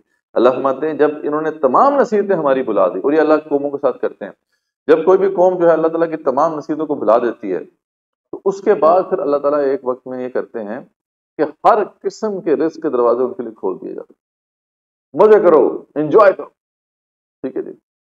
वो इसलिए अल्लाह करते हैं, अल्लाह ने उसका, उसकी भी हिकमत बयान की है कि इदा फरीफू बिमा ऊतू, यहाँ तक कि जब वो खुश हो गए, इतरा गए उसमें जो भी उनको ता किया गया था अखस ना हम तक तो हमने अचानक उनको पकड़ा फ़ाइदा हम पुबलसून और वो फिर उनके, वो बिल्कुल मायूस होकर रह गए, तबाह होकर रह गए। अब ये अल्लाह ताला की सुनत है। ठीक है? तो अब हम ऐसे, ऐसी कौमें देखते हैं, हम अपने आसपास भी देखते हैं। पाकिस्तान के तो खैर हालात बुरे ही हैं तो शुक्र शुक्र करें बुरे ही हैं। करतूत ठीक हो तो अच्छे होने चाहिए। करतूत खराब हो तो अगर हालात बेहतर होने शुरू हो गए तो फिर इसका मतलब है कि फिर जड़ कटने वाली है। जैसा कि अरबों का मामला आपको नज़र आता है। अब अरबों का मामला आप देखते हैं कि जनाब वहाँ कुछ भी नहीं था। अब वहाँ पर जनाब हर तरह के रिस्क के दरवाजे खुले हुए लेकिन करतूत उनके क्या हैं कि वो तो दिन ब दिन खराब से खराब तर होते चले जा रहे हैं। ये उनके खात्मे की आखिरी, यानी गिनती शुरू हो चुकी है। अब, आज नहीं तो कल। अचानक उनके ऊपर हमला होना है। और कई अरब ममालिक पर तो हमला हो के मामला ख़त्म भी हो चुका है ना। शाम गया और जो है ये जो था, इराक गया, शाम गया, फलस्तीन गया, ये भी याशी के अड्डे भरे हुए थे। यहाँ पे भी वही अल्लाह के अल्लाह के खिलाफ जो है, बगावत चल रही थी तो अल्लाह ताला फिर पकड़ते हैं। ठीक है? हमारा हाथ थोड़ा बचा हुआ है, बस पता नहीं कब हमारी बारी आती है। अल्लाह ना करे, अल्लाह करे कि हम तोबा करें, अल्लाह के जनाब में झुकें। और अल्लाह के अहकाम को नाफिज करना शुरू करें, अल्लाह उसके रसूल पर से जंग बंद करें। अल्लाह करे कि ऐसा हो, वरना यह कि बहरहाल अनकरीब फिर जो है मज़े होने वाले हैं। कि आपकी इकॉनमी बड़ी बूम करेगी। लेकिन वो बस आखिरी दफ़ा होगा। तो ये अल्लाह ने एक असूल बयान किया। बड़ी इंपॉर्टेंट आयत है। फिर उसके बाद अल्लाह फरमाते अगर अल्लाह तुम्हारी कान और आँखें छीन ले और दिलों को मोड़ लगा दे तो कौन फिर उसको लुटा सकेगा? उसके सिवा। हमारे मुबशरीन हम रसूलों को नहीं भेजते, मगर इसलिए भेजते हैं कि वो डरा दें और बशारत दे दें। डरा दें कि अगर तुम नहीं मानोगे तो तबाह हो जाओगे, बशारत इसकी दे दें। तुम मानोगे तो तुम्हें दुनिया में भी फ़ायदा होगा तुम्हें फ़ायदा होगा। फमन आमना वास्ता फला खौफ न जो भी उनकी बात मान लेगा, अपनी इसलाह कर लेगा, उसके लिए कोई खौफ होगा, ना ही कोई गम होगा। उसके बाद आयत number fifty two seventy three में नबी वसल्लम के लिए दावत देने के ज़मीन में कुछ हदायत दी गई हैं कि आप कैसे दावत दें। हौसला अफजाई के लिए नसीहत की गई। तो आप उन्हें कह देंगे, मेरे पास खजाने नहीं है, ना ही मैं कोई गैर जानता हूँ, ना ही मैं ये कहता हूँ कि मैं कोई फरिश्ता हूँ। मैं तो खुद इस वही का इतबा कर रहा हूँ जो मेरे तरफ़, मेरी तरफ़ आ रही है। अब यहाँ पे अल्लाह ने बहुत बहुत अहम इंस्ट्रक्शंस दी हैं। अगर आपने दावत अल्लाह की तरफ़ आगे बढ़ना है। इनशाला अल्लाह करे कि आप सब लोग जो है दाई अल्लाह बने। कम से कम दुआ तो करें, दिल से दुआ करें कि अल्लाह ताला आपको दाई अल्लाह बनाए। तो तो उसमें फिर आपको एक एक ऐसी इंस्ट्रक्शन दी जा रही हैं कि जो पल्ले बांधनी होंगी। और आप आप वसल्लम को भी अल्लाह ने समझाया। ये अल्लाह फरमाते हैं कि वला तसुदिल्लदीन यदऊन रब्बहुम बिलअदावति वलआशी युरीदून वजह कि आप उनको अपने पास से दूर ना करें। जो रब को पुकारते हैं सुबह, शाम, और हर वक्त अल्लाह ताला की रजा के तालिब रहते हैं। माँ अलाई का मिन हिसाब मिन शई माँ मिन हिसाब का अलाई मिन शई। ना आपका इनके ऊपर हिसाब है, ना उनका आपके ऊपर हिसाब है। फता तो रोजा हम फतकून मिनतमीन अगर आपने इनको अपने पास से दूर किया तो अब ालमों से हो जाएँगे। ये क्या मामला है? जब आप दावत हक पेश करते हैं किसी भी सोसाइटी के अंदर तो उसमें दो किस्म के लोग आपको मिलेंगे। एक वो लोग होंगे जो मुनीबीन कहलाते हैं, यानी जिनका दिल झुकाव होता है, इस, इसकी तरफ़ कि वो सुनना चाहते हैं। वो आपकी बात जो है सुनना चाहेंगे। आप अपने रिश्तेदारों में भी ये देखेंगे, अपने दोस्तों में देखेंगे। आपका जितना भी सर्कल है सर्कल ऑफ़ इन्फ्लुएंस है या सर्कल ऑफ़ फ्रेंडशिप है तो वहाँ पे अगर आप देखेंगे, आपको दो किस्म के लोग मिले। हम, हमेशा आप देखेंगे दो किस्म के लोग होंगे। एक वो लोग होंगे जो आपकी बात, अगर आपको दीनी बात उन्हें समझाना चाहेंगे तो वो सुनना चाहेंगे। ठीक है, उनके पास टाइम कम हो सकता है, उनके पास होता है, उनको मुश्किल में फंसे हों। लेकिन आप उनको पाएँगे कि इस बात इस बात पे आमादा पाएँगे कि वो आपकी बात सुनना चाहते हैं। उनके दिल के अंदर एक अनाबत है एक झुकाव है। इन्हें मुनीब कहा जाता है। इनका एक सेपरेट खाना बना लें इनकी लिस्ट ऑफ़ सेपरेट बना लें। और कुछ वो लोग होंगे जो मोरेजीन कहलाते हैं जो एराज करने वाले मतलब उनको कोफ्त होती है। आप उनसे बात करेंगे तो वो भागेंगे। ठीक है जी? तो आपने उनका सेपरेट खाना बना लिया। जो मुनीबीन है ना आपकी ज़िम्मेदारी उन तक दीन पहुंचाना याद रखें। जो एराज करने वाले हैं, उनकी सेकंड प्रायोरिटी है। मुनीबीन को कभी भी आप आगे पीछे नहीं कर सकते। उन तक पहुंचाना ही आपकी ज़िम्मेदारी है, चाहे आपको उनके घर जाके उनको पहुंचाना पहुंचाना पड़े, दीन उनको सिखाना पड़े, आपको उसका बंदोबस्त करना है। तो यहाँ पे ये बताया जा रहा है कि रसूल वसल्लम के साथ एक मसला पेश आ रहा था उस वक्त कि आप वसल्लम के सामने जो आपने जब हक पेश किया तो कई लोग ऐसे थे जो मुनीब थे, लेकिन वो मतलब गुलाम थे या लोअर स्टार्ट ऑफ़ सोसाइटी के साथ उनका ताल्लुक था। तो ये जो सरदार थे ना बड़े बड़े ये अब इतराज करते थे कि जी हम आपकी महफिल में कैसे आए? आपकी महफिल में तो ये मतलब रजील किस्म के लोग हैं तो हम क्यों आए आपकी महफिल में? अल्लाह तला ने यहाँ पे रसूल को बड़ी स्ट्रिक्ट जो है इंस्ट्रक्शन दी। है रसूल देख लेना ये मेरे मेहमान हैं ये वाले। ये जो मुनीब हैं इनको अगर आपने पीछा किया तो आप जालिम वो नहीं मानते तो ना माने। ये उनका इम्तिहान है अल्लाह की तरफ़ से। अगर वो वाकई दीन हक को कबूल करना चाहते हैं तो ये क्या मसला है? उनको अपनी अना को ख़त्म करना होगा, और आके बात सुननी होगी। लेकिन एक दाई अल्लाह के लिए ये मसला होता है कि वो उसने इन्फ्लुएंशियल लोगों में भी दावत देनी होती है, और आम लोगों में भी दावत देनी होती है। इन्फ्लुएंशियल लोगों में दावत इसलिए देनी देनी होती है कि उनमें से अगर एक भी मुसलमान हो गया तो उसकी वजह से कितने लोग मुसलमान हो जाएँगे? खुद आपको बताया ना कि दो लोगों के बारे में आप खासतौर पर दुआ किया करते थे। कौन थे वो? अबू जहल और Umar bin Khattab. Bin Hisham और उमर बिन खत्ताब। तो अब वो क्यों था? क्योंकि अगर इनमें से एक भी आ गया तो ये तो बड़ी सोसाइटी का एक बड़ा फैक्शन इसके साथ आएगा। तो इसलिए एक दायर अल्लाह को वो काम ज़रूर करना होता है। लेकिन अल्लाह ये बता रहे हैं कि देखो, उनमें भी आप मुनीबीन देखें आप। जो मोरेज हैं, उनको आप छोड़ें। मुनीबीन को आप दावत दें। ठीक है? लेकिन इन लोगों को कभी आपने अपने पास से दूर नहीं करना। वरना फिर आप जो है जालमों में से हो जाए तो इन कुरान के ज़रिए से उन्हें डराते रहे, जो आखिरत में हसर की पेशी से डरते हैं, यानी आपने डराना उनको जो डरना चाहते हैं। फजक्र बिल कुरानी मैं खाफ वहीद। आप उसी को डरा सकते हैं, जो डरना चाहता है। जो डरना नहीं चाहता, उसको आप कैसे डराए? इसलिए मुनीबीन पे फोकस करना है। ये इतना इतना बड़ा असूल है कुरान का कि हमें भी बहुत अच्छे बात समझ में आई ये बात। और फिर दावत दावत देना भी आसान हो गया, वरना इंसान खुद फ्रस्ट्रेट हो जाता है ना। जब दावत दे रहा हो बाहर एक बंदा लग रहा है कि, यार तो मेरा करीबी है, मेरा कज़न है, मेरा दोस्त है, इसको तो मैं समझा ही दूँगा। लेकिन वो मोरिद होता है वो इलाज करने वाला होता है। अब बंदा पीछे लगा होता है लगा होता है। वो मतलब ये है कि उसका फ़ायदा कोई नहीं होता। जबकि हो सकता है कि वो ऐसे लोग भी उसके आसपास मौजूद हों कि जो मुनीब हों और उनको वो तोजह ना दे रहा हो। तो आपको तोजह देनी है उन लोगों को जो कि मुनीब हैं। तो ये बहुत असूल बहुत बड़ा असूल है दाई अल्लाह के लिए जो अल्लाह ने बयान कर दिया। और, और रसूल को भी समझाया हमें भी समझाया। अल्लाह हमारे इन फकरा को अपने अपने से इस वजह से दूर नहीं करना आपने कि ये सरदार ये सरदार जो है, ये कह रहे हैं, आपसे करीब नहीं आते। कि अल्लाह अल्लाह ने इन सरदारों का ध्यान रखा हुआ है। इसके बरक्स जो लोग भी ईमान लाने के लिए आपके पास आए, आप उन्हें वेलकम करें, क्योंकि जो भी गलती के बाद तोबा कर ले इसलाह कर ले तो अल्लाह गफुर रहीम है। अल्लाह उसके लिए गफुर रहीम होता है तो आप कैसे जो है उसे उसे इराज कर सकते हैं? ये भी मौजू इस्लाम का बहुत बड़ा मौजू है और इसका क्लाइमैक्स जो है, वो हम देखेंगे सूर्य आबासा में आता है। आबासा वातवल्ला अंजा आमा। ठीक है। वो आपको पता ना अब्दुल्ला बिन मकतूम, बहुत बड़े स्वाबी नबीना स्वाबी थे। वो बहुत बड़े स्वाबी यानी मतलब यह है कि शुरू अवलिन वक्त में वो मुसलमान हुए। वो फिर सारी ज़िंदगी जो है इस्लाम की, इस्लाम को जो है सर्व किया। ये इन्हीं की दावत पे जो है मदीने के अंदर इस्लाम फैला था। नबीना स्वाबित और जंग कादशिया में ये शहीद हुए थे। अलम पकड़ा हुआ था, इनके दोनों हाथ भी कट गए थे फिर भी पकड़ा, पकड़े रहे। तो नहीं ऐसे लोग थे।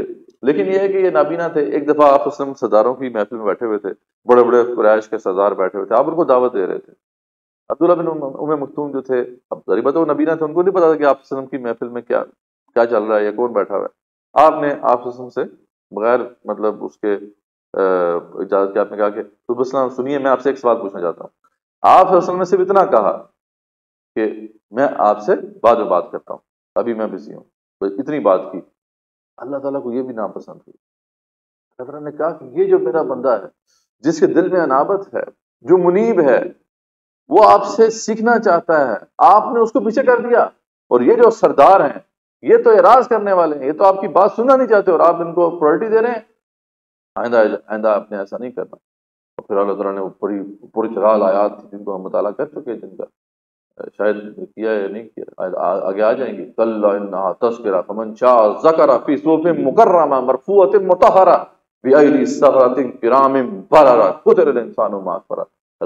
आप क्या समझते हैं कि ये मामूली कलाम है? इनको ऐसे आप झुक के ना पेश करें। ये सुनना चाहते हैं तो सुन लें। ये अल्लाह की नसीहत है जो कबूल करना करना चाहता है करे नहीं तो जाए। अल्लाह कहते हैं कि ये इस तरीके से आपने नहीं इसे पेश कर। इसका एक वकार है उसको भी आप मद्देनजर रखें। तो ये बड़ा अहम एक मौजू है। इस कुरान मजीद का, जो कि यहाँ पे भी कवर हुआ। इस तरह अल्लाह बयान करता है कि अपनी आयात तक अल्लाह फरमाते हैं कि इस तरह अल्लाह अपनी आयात को बयान करते हैं, जिस, जिससे अहले हक का भी रास्ता वादे हो जाता है और मुजरों को मुजरमों का रास्ता भी वादे हो जाता है कि मुजरम क्या करते हैं। फिर आप मुझे बता दें कि मैं तुम्हारी पैरवी करके शिप नहीं कर सकता और मुझे नहीं पता कि क्यामत कब वाक़ होगी। अल्लाह ही हर किस्म के गैर को जानने वाला है। वो तुम पर मुकम्मल कुदरत रखता है। इतना मैं बता देता हूँ कि उसका तुम्हारे पर पूरा जो है एक कंट्रोल है, उसकी एक बड़ी निशानी यह है कि जब तुम मौत के वक्त होते इंसान बेबस होता है। सबसे बड़ा, सबसे बड़ी दलील इंसान की बेबसी की क्या है? मौत के वक्त उसकी हैसियत है। मौत के वक्त जब, मौत के वक्त आ जाता है, बड़ा सेठ है हाँ जी बेहतरीन किस्म के डॉक्टर्स भी हैं, बेहतरीन मेडिकल फैसिलिटीज़ भी हैं, पैसा भी बहुत है ला के वापस लुटा के दिखा सकते हैं आप? अल्लाह ताला ने सूरह वाक़या में इसका फिर वो नक्शा कहना चाहे फलौला इज़ा बलगतिल हुलकुम वन तुम हीन ऐसिन तंजुरून वनहनु अक़रबु इलैहि मिनकुम वलाकिन ला जब तुम ये जान हलक तक आ जाती है और तुम देखते हो कि वो मरने वाला है एक बंदा तो तुम उसे देख तो रहे होते लेकिन हम तुम्हारी बनस्बत उससे ज़्यादा करीब होते तो फलौला अल्लाह ना, अगर तुम्हें समझते हो कि तुम इंडिपेंडेंट हो तो वापस से लौटा के दिखाओ तो इंसान की बेबसी जो है, मौत के वक्त, वो सबसे बड़ी बात में शहादत देती है कि इंसान बेबस है। खुशकी और तरी में हर जगह वही तुम्हें बचाने वाला है और उस पर कादर है कि तुम पर अजाब भेजे ऊपर से भी, तुम्हारे पाँव के नीचे से भी, या फिर तुम्हें ग्रोहों में बांट के आपस में लड़ा दे। अजाब की तीन सूरतें होती हैं तो आसमान के ऊपर से आता है, बारिश आ गई, पानी आ गया, बिजली गिर गिर गई वगैरह। नीचे से आता रहा, अजाब आता रहा जजला आ गया, ज़मीन फट गई और ज़मीन से पानी निकल आया वगैरह। और फिर एक और अजाब की सूरत भी है, वो है खाना जंगी, जो कि बहुत तबाहन होती है। ग्रोह में अलग अलग बांटते हैं और आपस में टकरा देते हैं ग्रोहों को। आपने तारीख इंसानी में देखा कि जो इस तरह की जो क्लाइमेटीज होती हैं, कि जो का मतलब कोई तूफ़ान आ गया, कोई सैलाब आ गया, उससे इतनी तबाही नहीं फैलती जितनी फिर जो आपस में इंसान जब लड़ते हैं तो फिर तो ईट से ईट बजा देते हैं तबाही फैला देते हैं ठीक है? तो यहाँ पे तीन किस्म के अजाब का ज़िक्र है। हमें भी देखना चाहिए कि ऐसा ना हो कि इनमें से कोई एक अजाब हम पे मुसलत कर दिया जाए। जब आप देखें कि लोग फजूल बातों में लग गए हैं तो उनसे अलग हो जाए, ये भी इंस्ट्रक्शन दी जा रही है आप मुस्लिम को, और हमें भी दी जा रही है उनके ज़रिए से, कि आप जब किसी को दावत दे रहे हो तो आप जरा माहौल देख लिया करें। बाकी बाद बात ऐसा होता है, दोस्त हैं गपशप लगा रहे हैं, वो तो हँसी खेल में लगे हुए हैं। अब आप उनको दावत देना शुरू कर देंगे वहाँ पे तो वो तो आपकी बात को फिर मज़ाक बनाएँगे। वो दीन का भी मज़ाक बनाएँगे, आपके भी मज़ाक बनाएँगे तो बेहतर है कि उस वक्त ये बात ना करें। तो आप देखेंगे लोग फजूल बातों में लगे हुए हैं तो उनसे अलग हो जाए, यहाँ तक कि वो किसी और बात में लग जाए। हाँ किसी और बात में लग जाते हैं, किसी डिसेंट माहौल में है तो फिर आप उनसे बात करें। अगर शैतान बुला दे तो जब याद आ जाए, उस उस वक्त अलग हो जाए। यानी अक्सर ऐसा होता है कि शैतान बुला देता है। तो अक्सर हम जो है दावत देते हैं, किसी को या कोई बात समझाना चाहते हैं तो माहौल ज़रूर देख लिया करें कि किस माहौल में वो बैठा था अगर वो माहौल दुरुस्त नहीं है तो फिर बेहतर है कि उसको अलहदा से बात कर ले उससे, या ऐसे माहौल में बात करें, ताकि वो बात सुनने के काबिल हो या सुनना चाहता हो। वरना फिर वो आपकी बात का फिर मज़ाक उड़ाएगा आमतौर पर सोशल मीडिया है, वो एक नॉन सीरियस प्लेटफॉर्म होता है। आपको पता है अक्सर जो व्हाट्सएप ग्रुप वगैरह बने होते हैं, हमारे मेरे भी बने हुए हैं, पुराने दोस्त वगैरह यूनिवर्सिटी वगैरह के। अब वो लगे हुए हैं गपशप लगाने उल्टी सीधी बातें करने। अब उस वक्त हम जब शुरू हो जाएँ तो इनको तो हम मुसलमान करके छोड़ेगा हमारा। आप इसको नहीं छोड़ेगा, ठीक है? तो दावत के भी आदाब है। दावत के दावत के आदाब में ये चीज़ है कि आपको ये ज़रूर देखना होता है कि वो किस स्टेट ऑफ़ माइंड में है। यहाँ पे वो बताया जाए छोड़ दें तो जिन्होंने दीन को खेल तमाशा बना दिया और दुनियावी ज़िंदगी ने उन्हें धोखे में डाल रखा है। लेकिन कुरान के ज़रिए नसीहत ज़रूर करते रहे। यानी वो लोग जिन्होंने, दुनिया को अपना मतलूब बना लिया है उनको ये बात समझ नहीं आ सकती। इसलिए उनको आप सेकेंड प्रायोरिटी पे रखें। वो अलग बात है कि अल्लाह फरमाते हैं, उनको नसीहत ज़रूर करते रहें, ताकि ये ना हो कि कोई जाने में अपने अमाल की वजह से आफत में पकड़ा जाए। ये ना हो कि वो कहे हम तक बात पहुँची नहीं। तो आप उन तक बात ज़रूर पहुँचा दें। मोरजीन को भी आपने बात पहुँचा ज़रूर देनी है। अगर वो नहीं भी सुन रहे तो आप उन्हें कहें, यार देखो, ये बात है, आप सुनना चाहें, सुन लें। ठीक है? बता दें ज़रूर, वो अलग बात है कि उस पर असर नहीं होगा, लेकिन अपना, अपनी तरफ़ से आप ज़िम्मेदारी पूरी अदा कर लें। लेकिन उनके पीछे ना पड़े। हाँ मुनीबीन जो है, उनको ना छोड़ें, उनको फोकस करें उनके ऊपर। फिर करने वाले ऐसे हैं, जैसा कि वो शख्स जिसे शैतान ने जंगल में भटका दिया हो, और वो हैरान कर रहा हो, यानी शैतान के ऊपर तारी हो गया हो तो फिर वैसे ही ये लोग हैं जो लोग शिर कर रहे हैं। बेशक अल्लाह की हदायत जैसा हदायत है, उसे चाहता देता है। अल्लाह ने आसमान ज़मीन को हक के साथ पैदा किया, उसी का कोल हक है। वही छुपे खुले को जानता है, वही हकीम है और वही खबीर है। अब आगे इब्राहिम इस्लाम का ज़िक्र आ रहा है तफसील तौर पर। इन, इसके ज़रिए से जो है कुपार पर तमाम हजत की जा रही है और दीगर अम्बियाम की शिर के खिलाफ जदोजहद को भी वाजह किया गया है और कुरान की अजमत को भी पेश किया गया। है इब्राहिम का ये इलाका जो था, ये दरियाफ्त हो चुका है। सर लिनोड वूरी जो थे और इनकी जो टीम थी, इन्होंने ये दरियाफ्त किया था इलाका। और फिर बाद में जब इसकी खुदाई हुई तो इससे बहुत बहुत से कतबात फिर जो है बरामद हुए। अब इसकी लैंग्वेज को भी डिकोड कर लिया गया है। और ये 1935 में ये डिस्कवरी हुई थी। उसके बाद से अब अच्छा खासा मवाद हमारे पास मौजूद है। हम पूरी सोसाइटी के अंदर ना एक एक स्नैपशॉट रखते हैं आप बेसिकली हम जान सकते हैं कि वो सोसाइटी कैसी थी, कैसे वर्क करती थी। तो ये जनाब ज़माना है तकरीबन तेईस सौ कबल मसीह, यानी twenty three hundred B C before Christ का ये ज़माना है। ईसा इस्लाम से तेईस सौ साल पहले का ज़माना। जिसमें फिर एक उर नामी ये शहर था, जिसकी बुनियाद रखी थी, एक शख्स ने, उसका नाम था उर्नमू ये उर्नमू जो है, यही बाद में फिर एक लकब बन गया था इनके हाँ नमू जिसे कहते थे। ये बाद में यही नमू अरबी में नमरूद बन गया। यानी ये अपने जो बादशाह थे, उनको नमरूद कहते थे। बादशाह का नाम नमरूद नहीं था, जैसे कि यहाँ पे फिरौन का मामला था कि उनका नाम तो वही रेमसिस द सेकंड था या मिनफिता था, लेकिन उनको फिरौन कहते थे। इसी तरीके फैरो कहते थे। इसी तरीके से ये लोग भी अपने जो बादशाह, उसको नमरूद कहते थे। ठीक है? वो उसका नाम भी उस उस शख्स के नाम पे पड़ा था कि जिसने इस इस शहर की बुनियाद रखी थी। ये ज़माना जिस जिसका वाक़ कुरान के अंदर ज़िक्र किया गया है, ये ये twenty one hundred B C का ज़माना है। इक्कीस सौ कबल मसीह का ज़माना है, जब इब्राहिम इस्लाम ने दीन हक की दावत इनके सामने पेश पेश की थी, नमरूद और उसके जो मलाते सरदार थे उनके सामने। तो शहर उर की आबादी उस वक्त ढाई से पाँच लाख के करीब थी, बड़ा शहर था और बड़ा सनती और तजारती मरकज़ था। ये आपको पता है कि ये जो इलाका रहा है, इराक का और ये मिस्र का, ये जो सारा इलाका है, ये ये बड़ी तहजीबों का गहवारा रहा है, इसमें बड़ी बड़ी तहजीबें रही हैं। कदीम जो है, समेरियन की तहजीब, वो भी यहीं पर रही। है तो ये एक बड़ा सनती और तजारती मरकज़ था। मुल्क की आबादी ज़्यादातर सनत और तजारत से ही इनका ताल्लुक था। इंडस्ट्री थी यहाँ पे बाकायदा, और बाकायदा जो है लोग तजारत किया करते थे। तो लोगों का नुकता नुकता नज़र जो था, वो मटेरियलिस्टिक था ज़्यादातर। दौलत कमाना, ज़्यादा सदा आसाइशें फराम करना, ये इनका मकसद था। सूद खोरी कसरत से फैली हुई थी, और सख्त कारोबारी किस्म के ये लोग थे। हर एक दूसरे को शक की निगाह से देखता था। आपस में बहुत मुकदमाबाजियाँ चलती थी। अच्छा ये जो है कुछ इसका एक नक्शा आपके सामने नज़र आ रहा है। ये जब शहर जब अपने पूरी यानी फंक्शनल था जब शहर तो उसका ये सेंटर में आप देख रहे हैं कि बड़ा सा पिरामिड सा है। ये बेसिकली वो नमरूद का वो महल था। ये आप इस, इसकी जो बाकियात आज भी मौजूद हैं ये जो राइट साइड पिक्चर है आज की पिक्चर है। आप देखते हैं कि इसकी जो कुछ मतलब बुनियादें हैं उन घरों की जो आसपास थी वो भी अब दरियाफ्त हो गई। और वो सेंटर वो जो आपको नज़र आ रहा है बड़ा पिरामिड सा। ये नमरूद का वो महल था। तो ये आज भी मौजूद है। मतलब इसको भी मतलब रिकवर कर लिया गया है।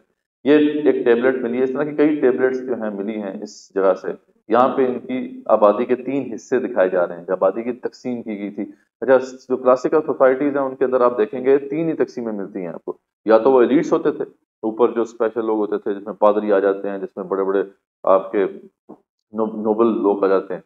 उसके बाद फिर दूसरा तबका होता था तजारत पेशा लोग, ठीक है? जिन्हें आप बुर्जुआ कहते बुर्जुआ कहते हैं ना कि ये जो तजारत पेशा लोग होते हैं मिडिल क्लास जैसे कहते हैं। और फिर तीसरा तबका होता था गुलामों का, ठीक है? तो इसी तरीके से ये सोसाइटी भी तीन हिस्सों में डिवाइडेड थी।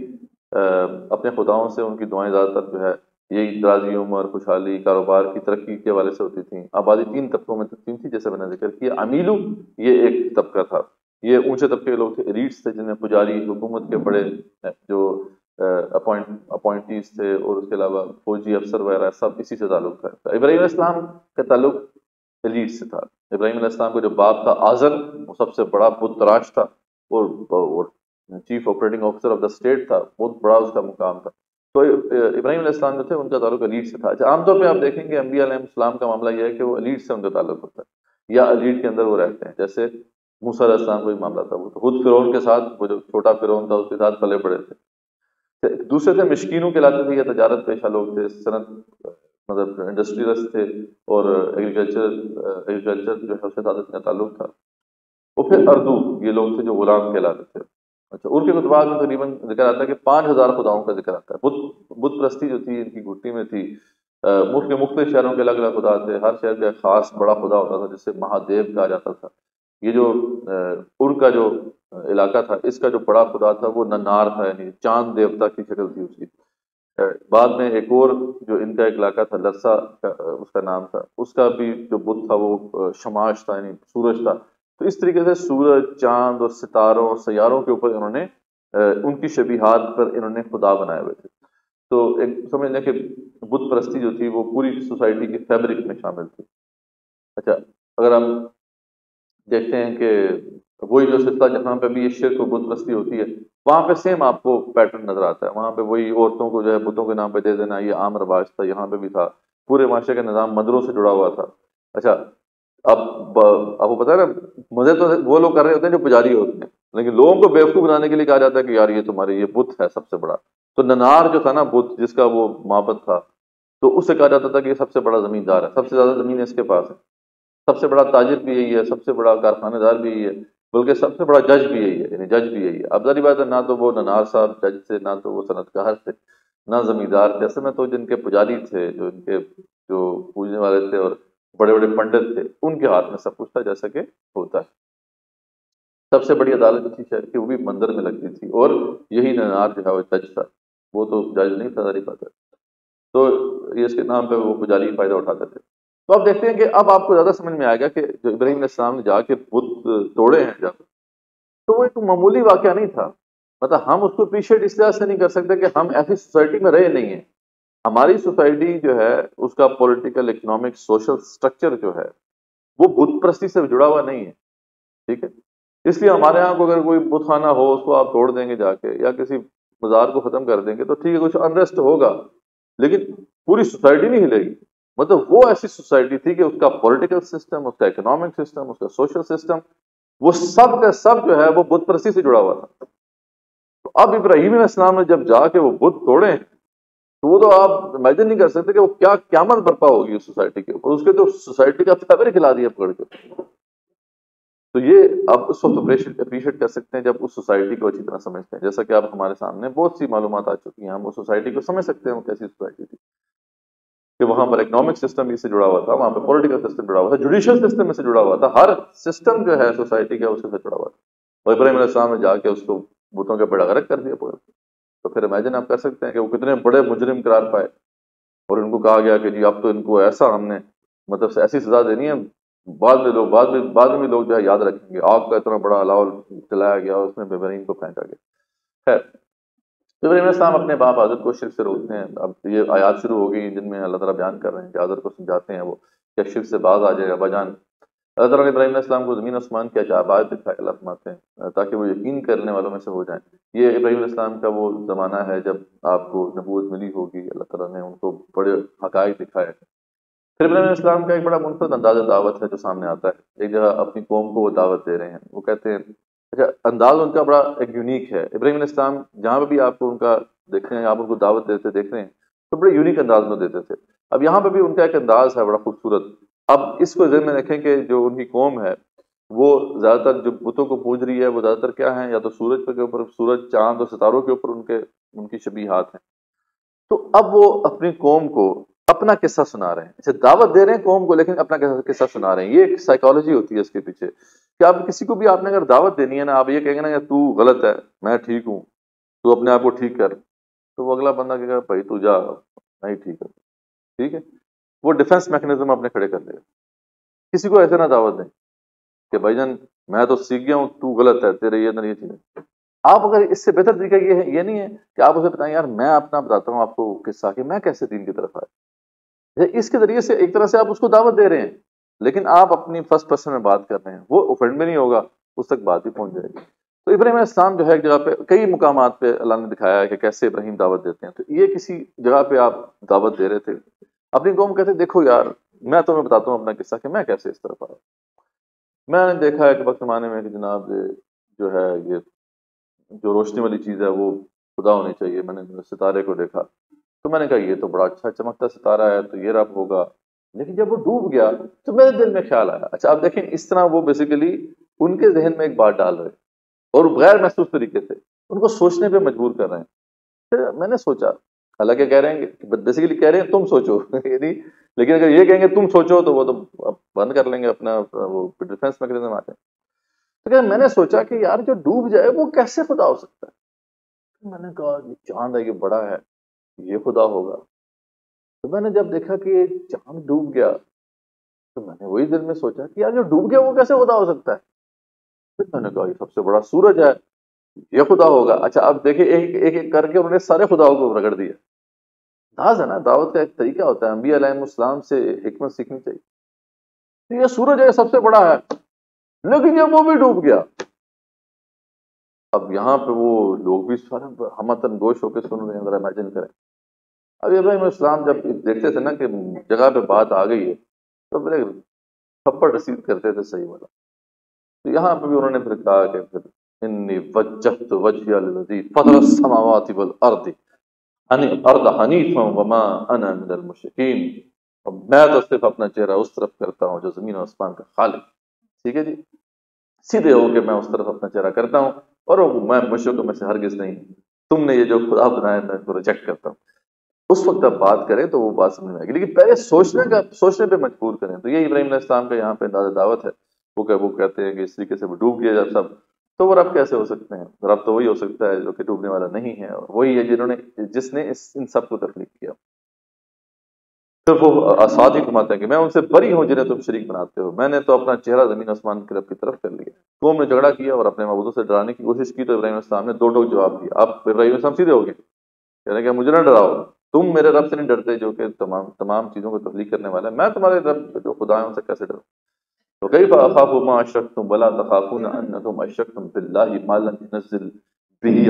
सुल्ताना, मैं क्यों डरूँ उससे? ठीक है कई फ़ाफ़ू मा अशरक तुम वला तखाफून बला तखाफून, जबकि तुम नहीं डरते। अन्न तुम अशक तुम बिल्ला अल्लाह के साथ अल्लाह के साथ तुमने जो है शरीक ठहराए हैं। मालन बिनजिल भी आ रही तुम सुल्ताना, कि जिसके ऊपर कोई तुम्हारे पास दलील नहीं है, ठीक है? तुम्हारे पास दलील नहीं है, बगैर दलील के तुम खड़े हुए हो। देखिए, हर नबी की दावत होती है रैशनल होती है। वो दलील पर लेके आते हैं। ये तो हमारा ही मामला हो गया जी, हम तो आँखें बंद करके मानते हैं। आज मुसलमानों से पूछें, क्यों मुसलमान है जी? बस पैदा हो गए मुसलमान कराने या बस आँखें बंद करके मानते हैं। तो ये एक जुल्म है। दीन हक हमेशा होता ही दलील पर खड़ा है। दीन बातिल होता है कि जो आँखें बंद करके जो है अपने साथ चलाने की कोशिश करता है। तो चलो फरमाते हैं कि हक बिल अमन? इन कुन तुम तालमून। तो इनमें से दोनों जो हैं, खुद सोचो कि इन दोनों में से कौन अमन का मुस्तक है? यानी किसको अमन होना चाहिए? उसको अमन होना चाहिए ना कि जो दलील पे खड़ा हो, जो सच्चे खुदा के साथ खड़ा हो और जिसको प्रोटेक्ट करने वाला सच्चा खुदा हो। या फिर वो अमन में होने चाहिए कि जो जो अपने मन मतलब अपनी जबान से जो है नाम खड़े हुए हैं, उनको पूज रहे हैं और समझ रहे हैं कि वो खुदा हैं। तो तुम समझते हो तो देख लो कि अमन का असल में हकदार जो है, वो तो वही शख्स है जो तीन हक पर खड़ा है, जैसे कि इब्राहिम तो लजीन अमन वलम ईमान बिजुल्म उलाइका लहमुल अमन वहम मुहतदून बेशक वो जो ईमान लाए जिन्होंने ईमान में कोई जो है, आगे पीछे बात नहीं की, जुल्म की वजह से जो है ईमान को छोड़ा नहीं, उसमें कोई मिलावट नहीं की तो उलाई का लहमुल अमन, उन्हीं के लिए अमन होता है, वहम मुहतदून वही हिदायत वाले होते हैं। तो हमने उनको इसाक अल्लाह फरमाते हैं कि जब ये आ, उनका ज़िक्र करने के बाद फरमाया कि हमने फिर उनको इसाक दिए और याकूब इस्लाम दिए इसाक उनके बेटे थे याकूब उनके पोते थे। ये सब हदायत याफ्ता थे। फिर नूर इस्लाम भी इससे पहले हदायत पर थे। यहाँ पर अबिया का ज़िक्र है अलैहिस्सलाम। इस तरह दाऊद हैं सलमान हैं अयूब यूसुफ मूसा हारून जकरिया यहया ईसा इलियास इस्माइल यसा यूनुस और लूत अलैहिस्सलाम। सब नेक लोग थे जिन्हें अल्लाह ने सब इंसानों पर फजीलत दी थी। एक बड़ा खूबसूरत गुलदस्ता है अम्बिया और रसूल का ज़िक्र ये अल्लाह की हदायत जिसे चाहता है वो देता है। और ये अम्बिया भी शिर करते अब कान खोल के सुन लो मुश्को अगर ये भी शिर करते तो इनके अमाल भी ज़ाया हो जाते ठीक है? तो शिर कभी अल्लाह माफ़ नहीं करेगा। तो अल्लाह अगर मक्का वाले इन बातों का इनकार करें तो अल्लाह ने ऐसे लोग भी तो रखे हैं जो इनका इनकार नहीं करेंगे। इसलिए आप वसलम इन्हें अम्बिया के रास्ते पर चलिए और इन्हें यही कहिए कि मैं आपसे कोई अजर नहीं माँगता मेरा अजर अल्लाह के पास ये बात बड़ी अहम है। एक दाई अल्लाह को यह काम करना है, बेरोस होकर। इसके लिए कोई पैसे नहीं देगा। इसके लिए को वो, कोई फ़ायदा नहीं लेगा। अनफॉर्चुनेट ये मामला है कि हमारे यहाँ तो अब इसमें शरी बहस में हम नहीं जाते कि क्या इस वाले से जो आप किसी को कुरान सिखाएँगे या बात समझाएँगे, उस पर कोई पैसे लेने चाहिए या नहीं लेने चाहिए? इस पर तो शरी एक बहस मौजूद है कि नहीं पैसे लिए जा सकते हैं। चले, उस शरी बहस को अब छोड़ दें। लेकिन वो सोचें कि उसकी क्या इखलाकी हैसियत रह जाएगी जब वो उसको पता चलेगा लोगों को कि यार ये तो पैसे लेता है। इसके बरक्स वो बंदा जो फ्री काम कर रहा है, जो अल्लाह के लिए काम कर रहा है तो उसका ज़्यादा जो है असर होगा दिल के ऊपर। इसलिए तमाम अम्बिया इस पर तमाम लोग मुतफिक हैं, तमाम उम्मत में इतफाक तमाम अम्बिया में से कोई एक नबी ऐसा भी नहीं बशमूल रसूल जिन्होंने इस काम का कोई मुआवजा लिया। या इस काम से अपना पेट पाला। उन्होंने खुद मेहनत की है, खुद रसूल ने बकरियाँ चलाई हैं, ठीक है, और बड़े काम किए हैं। तमाम सलाम जो है वो अलहदा से काम करते थे, ठीक है? तो ये बात हमें समझनी चाहिए कि दाई अल्लाह को जो है इस, इसके ज़रिए से पैसे नहीं बनाने चाहिए, इसके ज़रिए से अपना पेट नहीं पालना चाहिए। वो पेट पालने के लिए कुछ और करे। ये काम जो है बगैर किसी उजरत के होगा, अल्लाह ही इसका अजर देगा। यहूद की इस बात पर अल्लाह को बहुत अफसोस हुआ। अब ये क्योंकि वो ज़माना है कि जब हिजरत करीब आ चुकी है। तो मुशरकी ने मक्का कुछ मुशरकी जो मक्का थे कुछ सरदार जो थे, वो गए ज़रा योगियों से पूछने के लिए। अच्छा वहाँ जाके उन्होंने पूछा कि आप ये ज़रा बता दें हमें कि ये जो सुपर सिस्टम को कैसे काउंटर करें आप? मतलब इन्होंने अब बड़े लोगों को हमारे साथ जो है, हमारे से तोड़ लिया है और अब हमें कुछ ऐसे टेक्निक्स बताएँ, कुछ टिप्स दें, ताकि हम ज़रा इनको परेशान करें। तो ये जो सारा था ना मामला इस दौरान के अहल किताब उनसे भी खिताब होता है। ये दरअसल इसलिए शुरू हुआ था कि यहूदियों ने इनको टिप्स देने शुरू कर दी थी। अच्छा या कि ये बात कहो, इस तरह की बातें करो। तो ये अब वो वक्त वक्त आ गया है कि जब वो बातें बता रहे हैं। तो यहाँ पे फिर रसूल वसलम जो है, उनको बताया जा रहा है कि यहूद की इस बात पर अल्लाह को बहुत अफसोस है कि उन्होंने मुश्किन से कहा कि आसमान से कोई किताब नाजिल नहीं हुई और मोहम्मद झूठ बोल रहे हैं। यानी उनको पता था कि आसमान की तरफ़ से किताबें आती हैं और उनको पता है कि सबका जो अम्बिया सलाम, उनको अल्लाह ने किताबें दी हैं। लेकिन वो कहते हैं कि हमें भी पता है कि इस तरह की कोई किताब आसमान से नाजिल नहीं होती है। ये झूठ बोल रहे हैं। मतलब इस तरीके से उन्होंने झूठ बोला, अल्लाह फरमाते हैं। मुझे बहुत अफसोस है इस बात पर कि अहल किताब ने ऐसी बात की है। इनसे पूछेंगे तो रात किसने नाजिल की थी जिसमें हदायत भी थी और नूर भी था? क्यों झूठ बोलते हो? क्यों इन मुश्रकों को गुमराह करते हो? ये तो ये तो उम्मी है। ये तो जाहिल है। इनको तो पता नहीं है। तो तुम इनको गुमराह करते हो। अब ये किताब कुरान है जिसे हमने बरकत वाला बनाकर नाजिल किया है, ताकि आप बस्तियों के मरकज यानी मक्का और उसके जो इलाके हैं उनको डरा दें। वो लोग जो आफत का शौक रखते हैं, उस कुरान पर ईमान ला रहे हैं, और यही वो हैं जो अपनी नमाजों की हिफाजत करने वाले हैं। वो लोग जो बातें बना रहे हैं, उन पर भी वही होती है। झूठ बोल रहे हैं। अच्छा ये उल्टी सीधी बोंगियाँ वो भी मार देते हैं मतलब मुशकिन मक्का। वो कहती हमारे पर भी वही आती है। आपको खास नहीं है कि आपके ऊपर वही आ रही है। हमारे पर भी वही आती है। तो अल्लाह फरमाते हैं कि ये झूठ बोल रहे हैं, इस तरह की बात उन्होंने की है। उन्हें सख्त अदाब झेलना पड़ेगा इस झूठ के ऊपर। उसके बाद फिर कुछ तोहहीद के इस बात के दलाइल दिए गए ताकि ज़रा तोजो को महसूस किया जाए वहाँ पे कि देखो, सोचो, गौर करो। वो वही है जो दाने और गुटली के गुटली को फाड़ता है। ज़िंदा को मुर्दा से और मुर्दा को ज़िंदा से निकालता है। वही सुबह को निकालता है उसी ने रात को आराम के लिए बनाया है। उसी ने सूरज चाँद को हिसाब में लगा रखा है। सितारे पैदा किए जिससे रास्ते मालूम किए जा सकते हैं। उसी ने सब इंसानों को एक शख्स यानी आदम से पैदा किया और एक जगह आर्जी रहने की है यानी ये दुनिया और एक जगह मुस्तकिल रहने की है यानी कि आखिर। वही पानी बरसा कर हर किस्म के नबात को उगाता है। उसी ने शाखें और फिर दाने निकाले हैं। खजूर के दरख्तों को खोशें खजूर के दरख्त उनके खोशे हैं। जो लटक जाते हैं, अंगूर हैं, जैतून हैं, अनार के बागात हैं, मिलते जुलते भी हैं, ये एक दूसरे से नहीं भी मिलते जुलते, सब फलों के फलने और पकने के अमल में देखने वालों के लिए बहुत सी निशानियाँ तोहहीद के सारे दयाल दिए जा रहे हैं। लेकिन इस सब के बावजूद उन्होंने अल्लाह का शरीक जन्नात को बना दिया। यानी ये कहते थे माजल ऐसी वो घटिया बात करते थे। कहते थे कि ये जो है, जन्नात के साथ अल्लाह तला का कोई नसब है और उससे फिश्ते बेटियाँ पैदा हुई। माजल्ला इस तरह की बात वो करते थे। तो अल्लाह कहते हैं, ये सब झूठ बोल रहे हैं, जहाँ कहीं भी बुतप्रस्ती होती है। दरअसल वो में जन्नात ही की पूजा कर रहे थे ना ये लोग। तो ये जन्नात की पूजा ही करते हैं। इसलिए आप जहाँ पर भी देखेंगे चाहे हिंदू मैथोलॉजी में देख या ग्रीक मैथोलॉजी में देख लें, वो शक्लें अजीब गरीब किस्म की, खौफनाक किस्म की, आप वो देखेंगे वो, उन खुदाओं की। ठीक है? वो बेसिकली वो शैतान, शियातीन की शक्लें होती है जो इनको ख्वाबों में आती हैं। हालाँकि अल्लाह की ने जन्नत को पैदा किया है, लेकिन उन्होंने अल्लाह के बेटे और बेटियाँ गढ़ ली। अल्लाह सब शिर से पाक है। अब अल्लाह फरमाते हैं कि देखो, अल्लाह तला जो है, वो तमाम निगाहों को मुहित है, उसको कोई निगाह नहीं दे सकती। तुम्हारे पास अब रब की तरफ़ से वाज दलाइल आ चुके हैं, लेकिन अल्लाह का तो कोई देख नहीं देख सकता, लेकिन उसके दलाइल इतने आ चुके हैं कि आप तुम्हें मस्ता नहीं कर सकते। लेकिन रब की तरफ़ से हमें खोलने वाले हटाए अब आ चुके हैं, इसको मान लो। इसलिए आप इसी की पैरवी कीजिए जो आपकी तरफ़ यही किया गया। मुश्किलों से इराज कीजिए। अगर अल्लाह चाहता तो वो शिरकी ना करते। इनके शरीकों को बुरा ना कहो, वरना वो भी बुरा कहेंगे। और इन लोगों ने कस्मों में बड़ा ज़ोर लगाया कि अल्लाह की कसम खाई कि अगर उनके पास कोई निशानी आ जाए तो वो ज़रूर ही इस पर ईमान ले आएँगे। वही बात जो शुरू से हो रही है। आप कह दीजिए कि निशानियाँ सब अल्लाह के कब्ज़े में है, मैं नहीं दिखा सकता। तुम उसी क्या खबर कि वो निशानियाँ जिस आ जाए तो ये लोग ये लोग तब भी ईमान न लाए। तो अब अल्लाह मानते हैं कि क्यों ये होगा? क्योंकि पहली दफ़ा ये मान ही लेकर आए तो अब दोबारा मान ये लेकर नहीं आएगा तो उस पर आगे फिर जरी बात है, कुफार की हटदर्मी और शातीन का उन्हें तरह तरह की दिले सुझाना, उसका ज़िक्र है कि कैसे शातीन जो हैं वो बदलाते हैं लोगों। और जो है उनको उल्टी सीधी बातें करते हैं। जैसे एक बात वो करते थे कि देखें, ये जो कहते हैं कि अपने हाथ से जबा किया हुआ जानवर है, ये तो हलाल है। लेकिन जो वैसे मर जाए फितरी तौर मर जाए, वो तो अल्लाह ने मारा है, उसको हराम कहते हैं। नहीं अल्लाह के मारे को हराम कहते हैं और अपने मारे को कहते हैं हलाल। इस तरह की उल्टी सीधी बातें करते थे। तो इस पर उनको समझाया गया मुसलमानों को कि उनकी बातों में ना हो ये शातीन है जो उनको ये बातें सिखाते हैं। पर अब यहाँ तक तकरीबन हमारा कंप्लीट हो गया है। अल्लाह फरमाते हैं कि हर नबी के दुश्मन अल्लाह तला ने शातीन रखे हैं और इंसानों में से। तो आप इनके, इनसे परेशान ना हो, अपना काम जारी रखें। और और ये बता दें उन्हें कि भाई मैं तो इसकी, इसके पीछे नहीं चल सकता, जिसके पीछे जो है तुम लोग चल रहे हो। तो कुरान की हकानियत पर अल्लाह फरमाते हैं कहले किताब भी गवाह हैं, इसलिए आप शक करने वालों में से ना हो, बल्कि इसके नजूल से अल्लाह की ये बात भी पूरी हुई कि वो हमें हदायत ज़रूर देता है। और ये असूल बयान कर दिया गया कि अगर दुनिया में बसने वाले लोग हैं, उनकी अक्सरियत की आप पैरवी करेंगे तो आपको लाजमन गुमराह कर देंगे।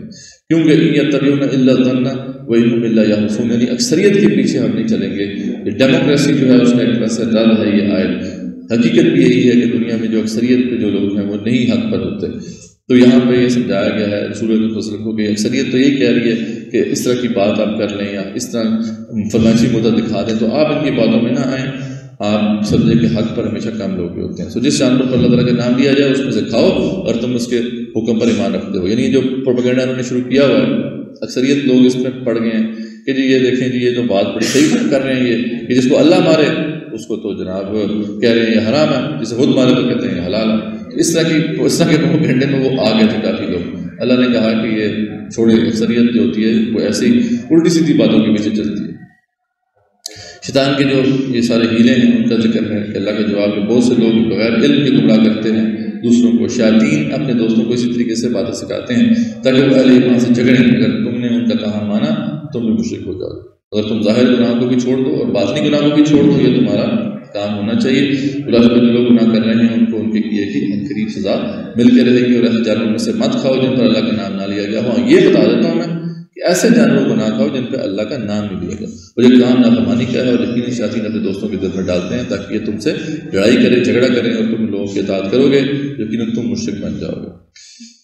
तो उसके बाद खैर, अल्लाह ताला ये इबादत फरमाते हैं कि जो दीन हक पर रसूल वसलम है, वो तुम्हें हक की तरफ़ बुला रहे हैं, वो उन जैसे नहीं हो सकते वो लोग। कि जो बातिल की तरफ़ बुला रहे हैं। इसलिए इस तरह हमने हर बस्ती में वहाँ के रईसों को ही मुजरम बनाया ताकि लोगों को वो गुमराह करें। यहाँ के भी रईस जो हैं, लोगों को गुमराह कर रहे हैं। वो लोग अपने ही साथ देख कर रहे हैं, उनको ज़रा भी खबर नहीं है। तो यहाँ पे आखिरी बात यही है कि और यही आपके रब सीधा रास्ता है। हमने नसीहत हासिल करने वालों के लिए इन आयात को साफ़ साफ़ बयान कर दिया है। इन लोगों के वास्ते उनके रब के पास सलामती घर है जो कबूल कर लेंगे इन बातों को। और अल्लाह ताला इनसे मोहब्बत रखता है और इनके अमाल जो है, उनको कबूल करता है। इस वजह से आप भी अच्छे अमाल पे गामजद रहें और इनकी बातों पर ना तो यहाँ पे हमने कंक्लूड कर दिया। अब आगे कुछ अहम मकाम हैं जिनको हम देख लेते हैं। इसमें एक तो यही आयात हैं जो हमने ज़िक्र भी किया जिसका बीच में कि फलमा नसू मादुम फिर भी फ़तह नवाबुल्लिशई तो ये सूर हमने एक्सप्लेन कर लिया था तफसील से। कौमों का जो अबूज जवाल है उस वाले से ये बड़ा अहम असूल है कि जब कौम अच्छा काम ना कर रही हो और फिर भी जो है उसके ऊपर रिस्क के दरवाजे खोल दिए जाएँ तो उसका मतलब है कि उसकी खात्मे की अब गिनती शुरू हो गई है। तो इसलिए इस बात को मद्देनजर रखना चाहिए कि अच्छे काम अगर करेगी कौम मुसलमान कौम तो फिर उसके दरवाजे ज़रूर खोलेंगे। उसका ज़िक्र कल हमने पढ़ा था कि अगर तुम, अगर ये अहल किताब भी जो है वो तो रात और इंजील कायम करते और जो भी उनकी तरफ़ नाजर हुआ है तो ये अपने ऊपर से भी खाते, नीचे से भी रिस्क खाते तो फिर तो बात ठीक है। दूसरा जो ये अहम असूल हमने डिस्कस किया, बड़े तफसील से डिस्कस किया कि जो है जो मुनीबीन है उनको फोकस करना, ठीक है? और मोरजीन जो है उनको सेकंड प्रायोरिटी पर रखना तो ये असूल भी हमने समझ लिया। फिर उसके बाद ये अहम आयत थी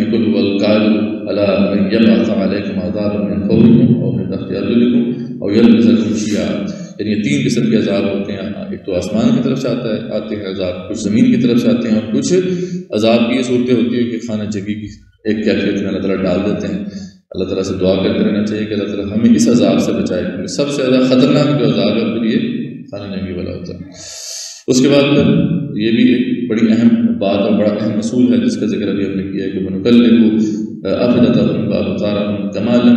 भी और हम भी इनके दिलों को और उनकी निकाहों को जो है फेर देंगे जैसा कि ये लोग इस पर पहली दफ़ा ईमान नहीं लाए थे। पहला मौका ज़रूर मिलता है। जब हक पेश किया जाता है तो उस वक्त मानना होता है, कबूल करना होता है। और उस वक्त कबूल ना करें तो फिर बाद में मौका नहीं मिलता। तो ये बात हमने पहले भी ज़रा तफसील से देखी थी, ये अहम असूल बयान कर दिया कि मनजर की तो या नहीं या महून तो फिर हम उनको, उनकी सरकशी में ऐसे ही हैरान रहने देते हैं कि चाहते हुए भी अब अब पाते और फिर ये आयत के मईल्ला यह यशरा सदर इस्लाम बड़े एक फसाद और बलागत के अतबार से भी बड़ी अहम आयत है कि अगर आप देखें कि इसको कुरान के अंदर ये बड़ा खासा है कि बाज़ बात जो कारी पढ़ रहा होता है तो अल्फाज का चुनाव ऐसा है कि उसके ऊपर वो कैफियत भी तारी होती हैं जैसे अब यहाँ पे देखें कि हदायत की तरफ़ आने की बात की जा रही है हमें युरिदल्लाह दिया हो यशरह सदरहू इस्लाम यानी जो भी जो शख्स अल्लाह ताला को अल्लाह ताला जिस शख्स को भी अल्लाह ताला रास्ते, सही रास्ते पर डालना चाहता है तो उसका सीना इस्लाम के लिए खोल देता है। अब यहाँ पर सारी जो अल्फाज इस्तेमाल हुए ना, वो वो हैं जिनके अंदर सीना वाकई खुलता हुआ महसूस होता है आपको। देखें फमा यूरदल्ला यह दिया हो यह दिया हो यहाँ से देखें ना, सीने के अंदर से आवाज़ आ रही है। यशरह सदरहू इस्लाम, यानी आपको बड़ा स्मूथली जो है आप इन अल्फाज से गुजर जाते हैं। और वाकई ऐसा महसूस होता है जैसे सीना खुल रहा है। ये कैफियत है जो कि अल्फाज से आपके ऊपर तारी होती है। बड़ा यूनिक ये फीचर है कुरान का। अच्छा अब आगे देखें। हुमयुरिद युदिल्लहु यजअल सदरहु दय्यखन हरजन कअन्नमा यसअदु फिस समा अब अल्फाज देखें, जिसको ये अल्लाह बिरा करने करने का इरादा कर देते हैं तो उसके सीने को तंग कर देते हैं। जैसा कोई आसमान में चढ़ रहा हो उसका सीना तंग हो रहा हो। अब जो सीना तंग होने की कैफियत है, वो इन अल्फाज को पढ़ते हुए भी तारी होती है। यानी ये कमाल है कुरान का। एजाज कुरान के हवाले से इस आयत को ख़ास तौर पर जो है मुफसरीन डिस्कस करते हैं कि देखें ना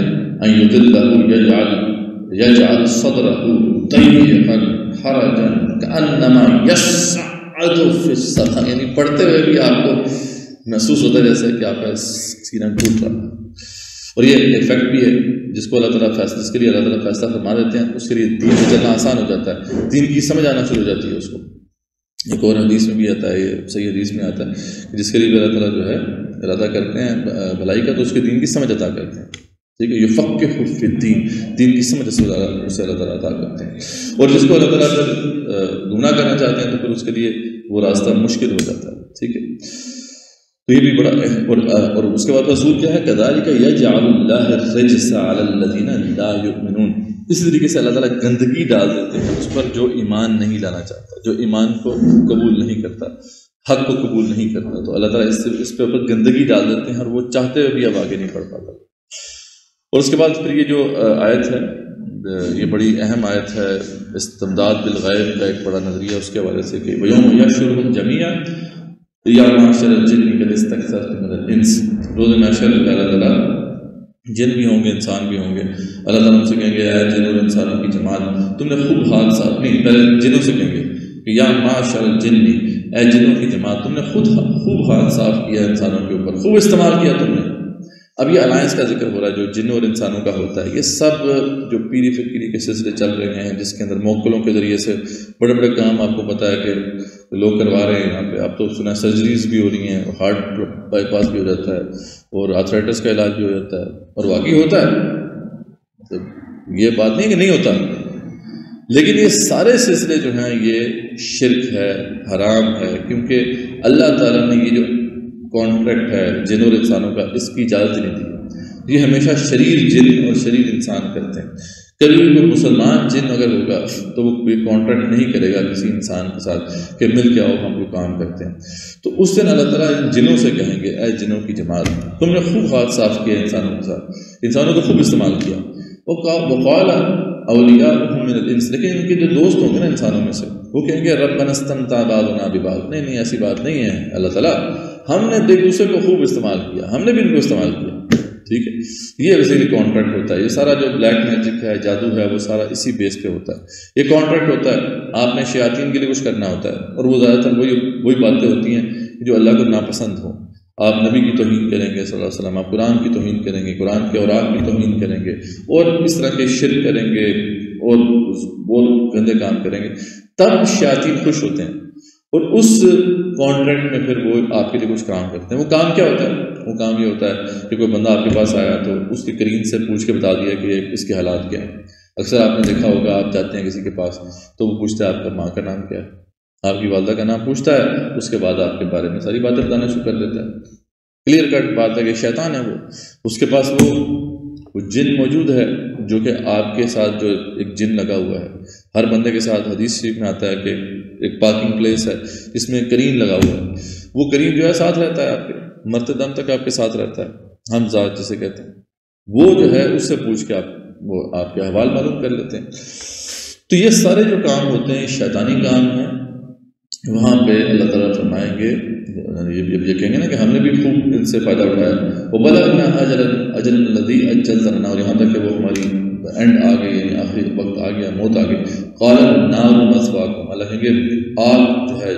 तुम्हारा ठिकाना तो दोनों का। खालिदी नफ़ीहा रहोगे उसमें हमेशा हमेशा माशा अल्लाह बचाना चाहे। इन रब बेशक आपका रब जो है हकीम भी है और आलिम भी है। तो याद रखिए, जितने भी सिलसिले इस तरह के चल रहे हैं और वो सारा इलाज करेंगे दोस्त के साथ ये मामला हुआ। उनकी वालदा जो थी, वो आर्थराइटिस का शिकार थी। आर्थराइटिस जो है वो भी लास्ट स्टेज का था और आपको पता है कि जब आर्थराइटिस लास्ट स्टेज का हो तो आप खड़े मतलब बैठ के नमाज़ नहीं पढ़ सकते, आप नीज बेंड नहीं कर सकते। लेकिन यह है कि वो, उसकी बस खुशकस्मती ये थी कि जो वो हमारे साथ उठता बैठता था, दुरुस्त वगैरह के हल्के में जाता था। वो लाहौर में होता था तो इस्लामाबाद में जॉब करता था। वापस गया एक दफ़ा तो उन्होंने देखा उनकी जो वालदा है वो नमाज़ पढ़ आराम से जनाब, बेहतरीन तरीके से नमाज़ पढ़ रही हैं और नींद बैंड हो रही है। वो ज़रा शौक में आ गया, वो ये कैसे हो गया? ये तो मुआवजा है। तो उन्होंने उनसे पूछा कि ये क्या मामला है? तो उन्होंने कहा जी कि मैं फला किसी बुज़ुर्ग के उधर गई थी उधर। तो उन्होंने कोई तावीज़ वगैरह दिया था और कुछ मतलब काम वगैरह किया है तो ये सिलसिला ठीक हो गया? तो उन्होंने खैर, उन्होंने बताया अपनी वालदा को कि ये बात तो सही नहीं है, दुरुस्त नहीं है जो भी अब इनके पास गई थी तो शिरक है मामला। तो वो कहते मेरे सामने ये फिनमना हुआ कि जिस नमाज़, अब वो नमाज़ के लिए मतलब खड़ी हुई और उन्होंने कोई तोबा की अल्लाह तला से। तो उसी नमाज़ के बाद वो दोबारा वो दर्द वापस आ चुकी थी। तो ये सब कुछ है, इसकी तासीर है, लेकिन ये सब शिरक है। याद रखें, ये आपके ईमान का सौदा कर रहे हैं लोग। और इनकी वजह से फिर बहुत से फिर इंसान मसाइल में पड़ता है। फिर वो जो जो असर पड़ता है, जिन्नात का, वो भी ये बेसिकली यही असर डालते हैं ये लोग। तो इससे होशियार रहना चाहिए। और ये हर गरीब महल्ले में पहुँचे हुए हैं। ये आयत इस हवाले से हमारी रहनुमाई करती है। तो जी, आपको क्वेश्चन हों आपके? तो देख लेते हैं। हमने अभी अब तक जो है सुरह अनाम का एक हिस्सा रह गया है, वो इंशाल्लाह हम कल करेंगे और सुरह आराफ को भी देखेंगे। तो आज के दस के हवाले से कोई क्वेश्चन हो तो पूछ लीजिए। जी।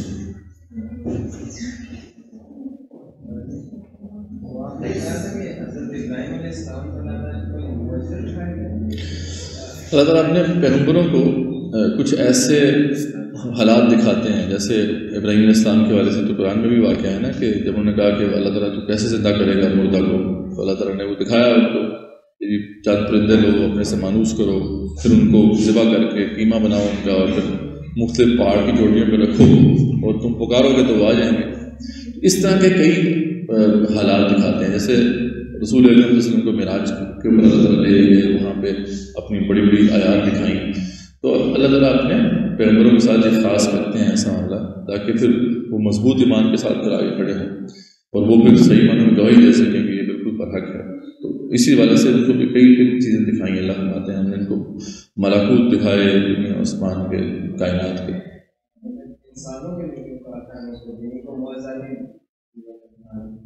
नहीं। मुआवजा तो दिखाते हैं अल्लाह फरमाशी मुआवजा ये तो एक नेक्स्ट स्टेप है ना।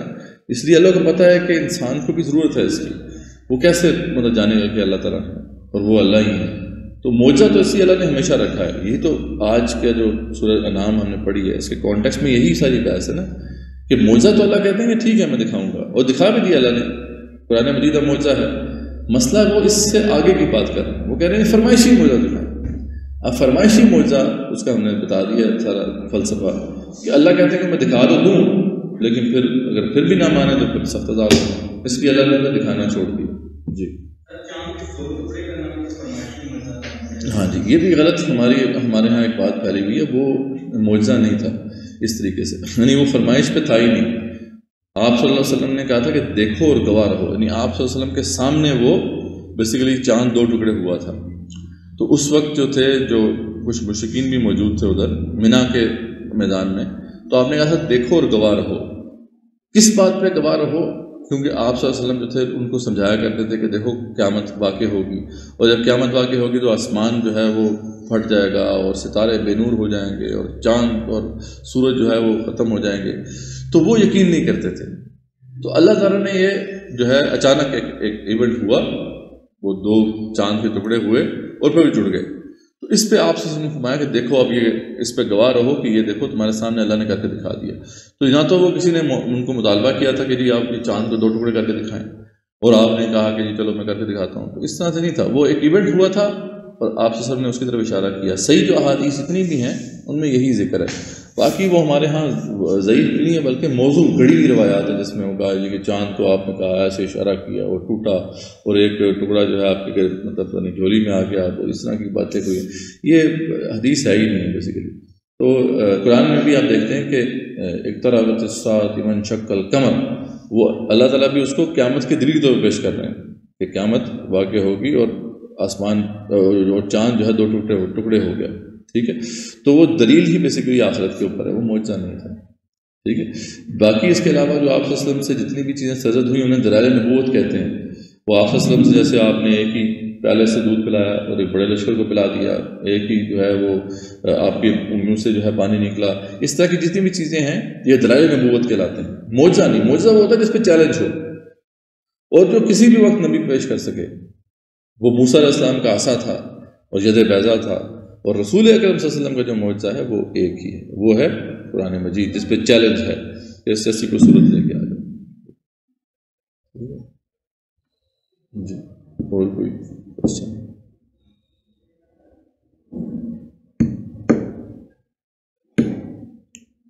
क्वेश्चन कंक्लूड करें। जजाकम खैर।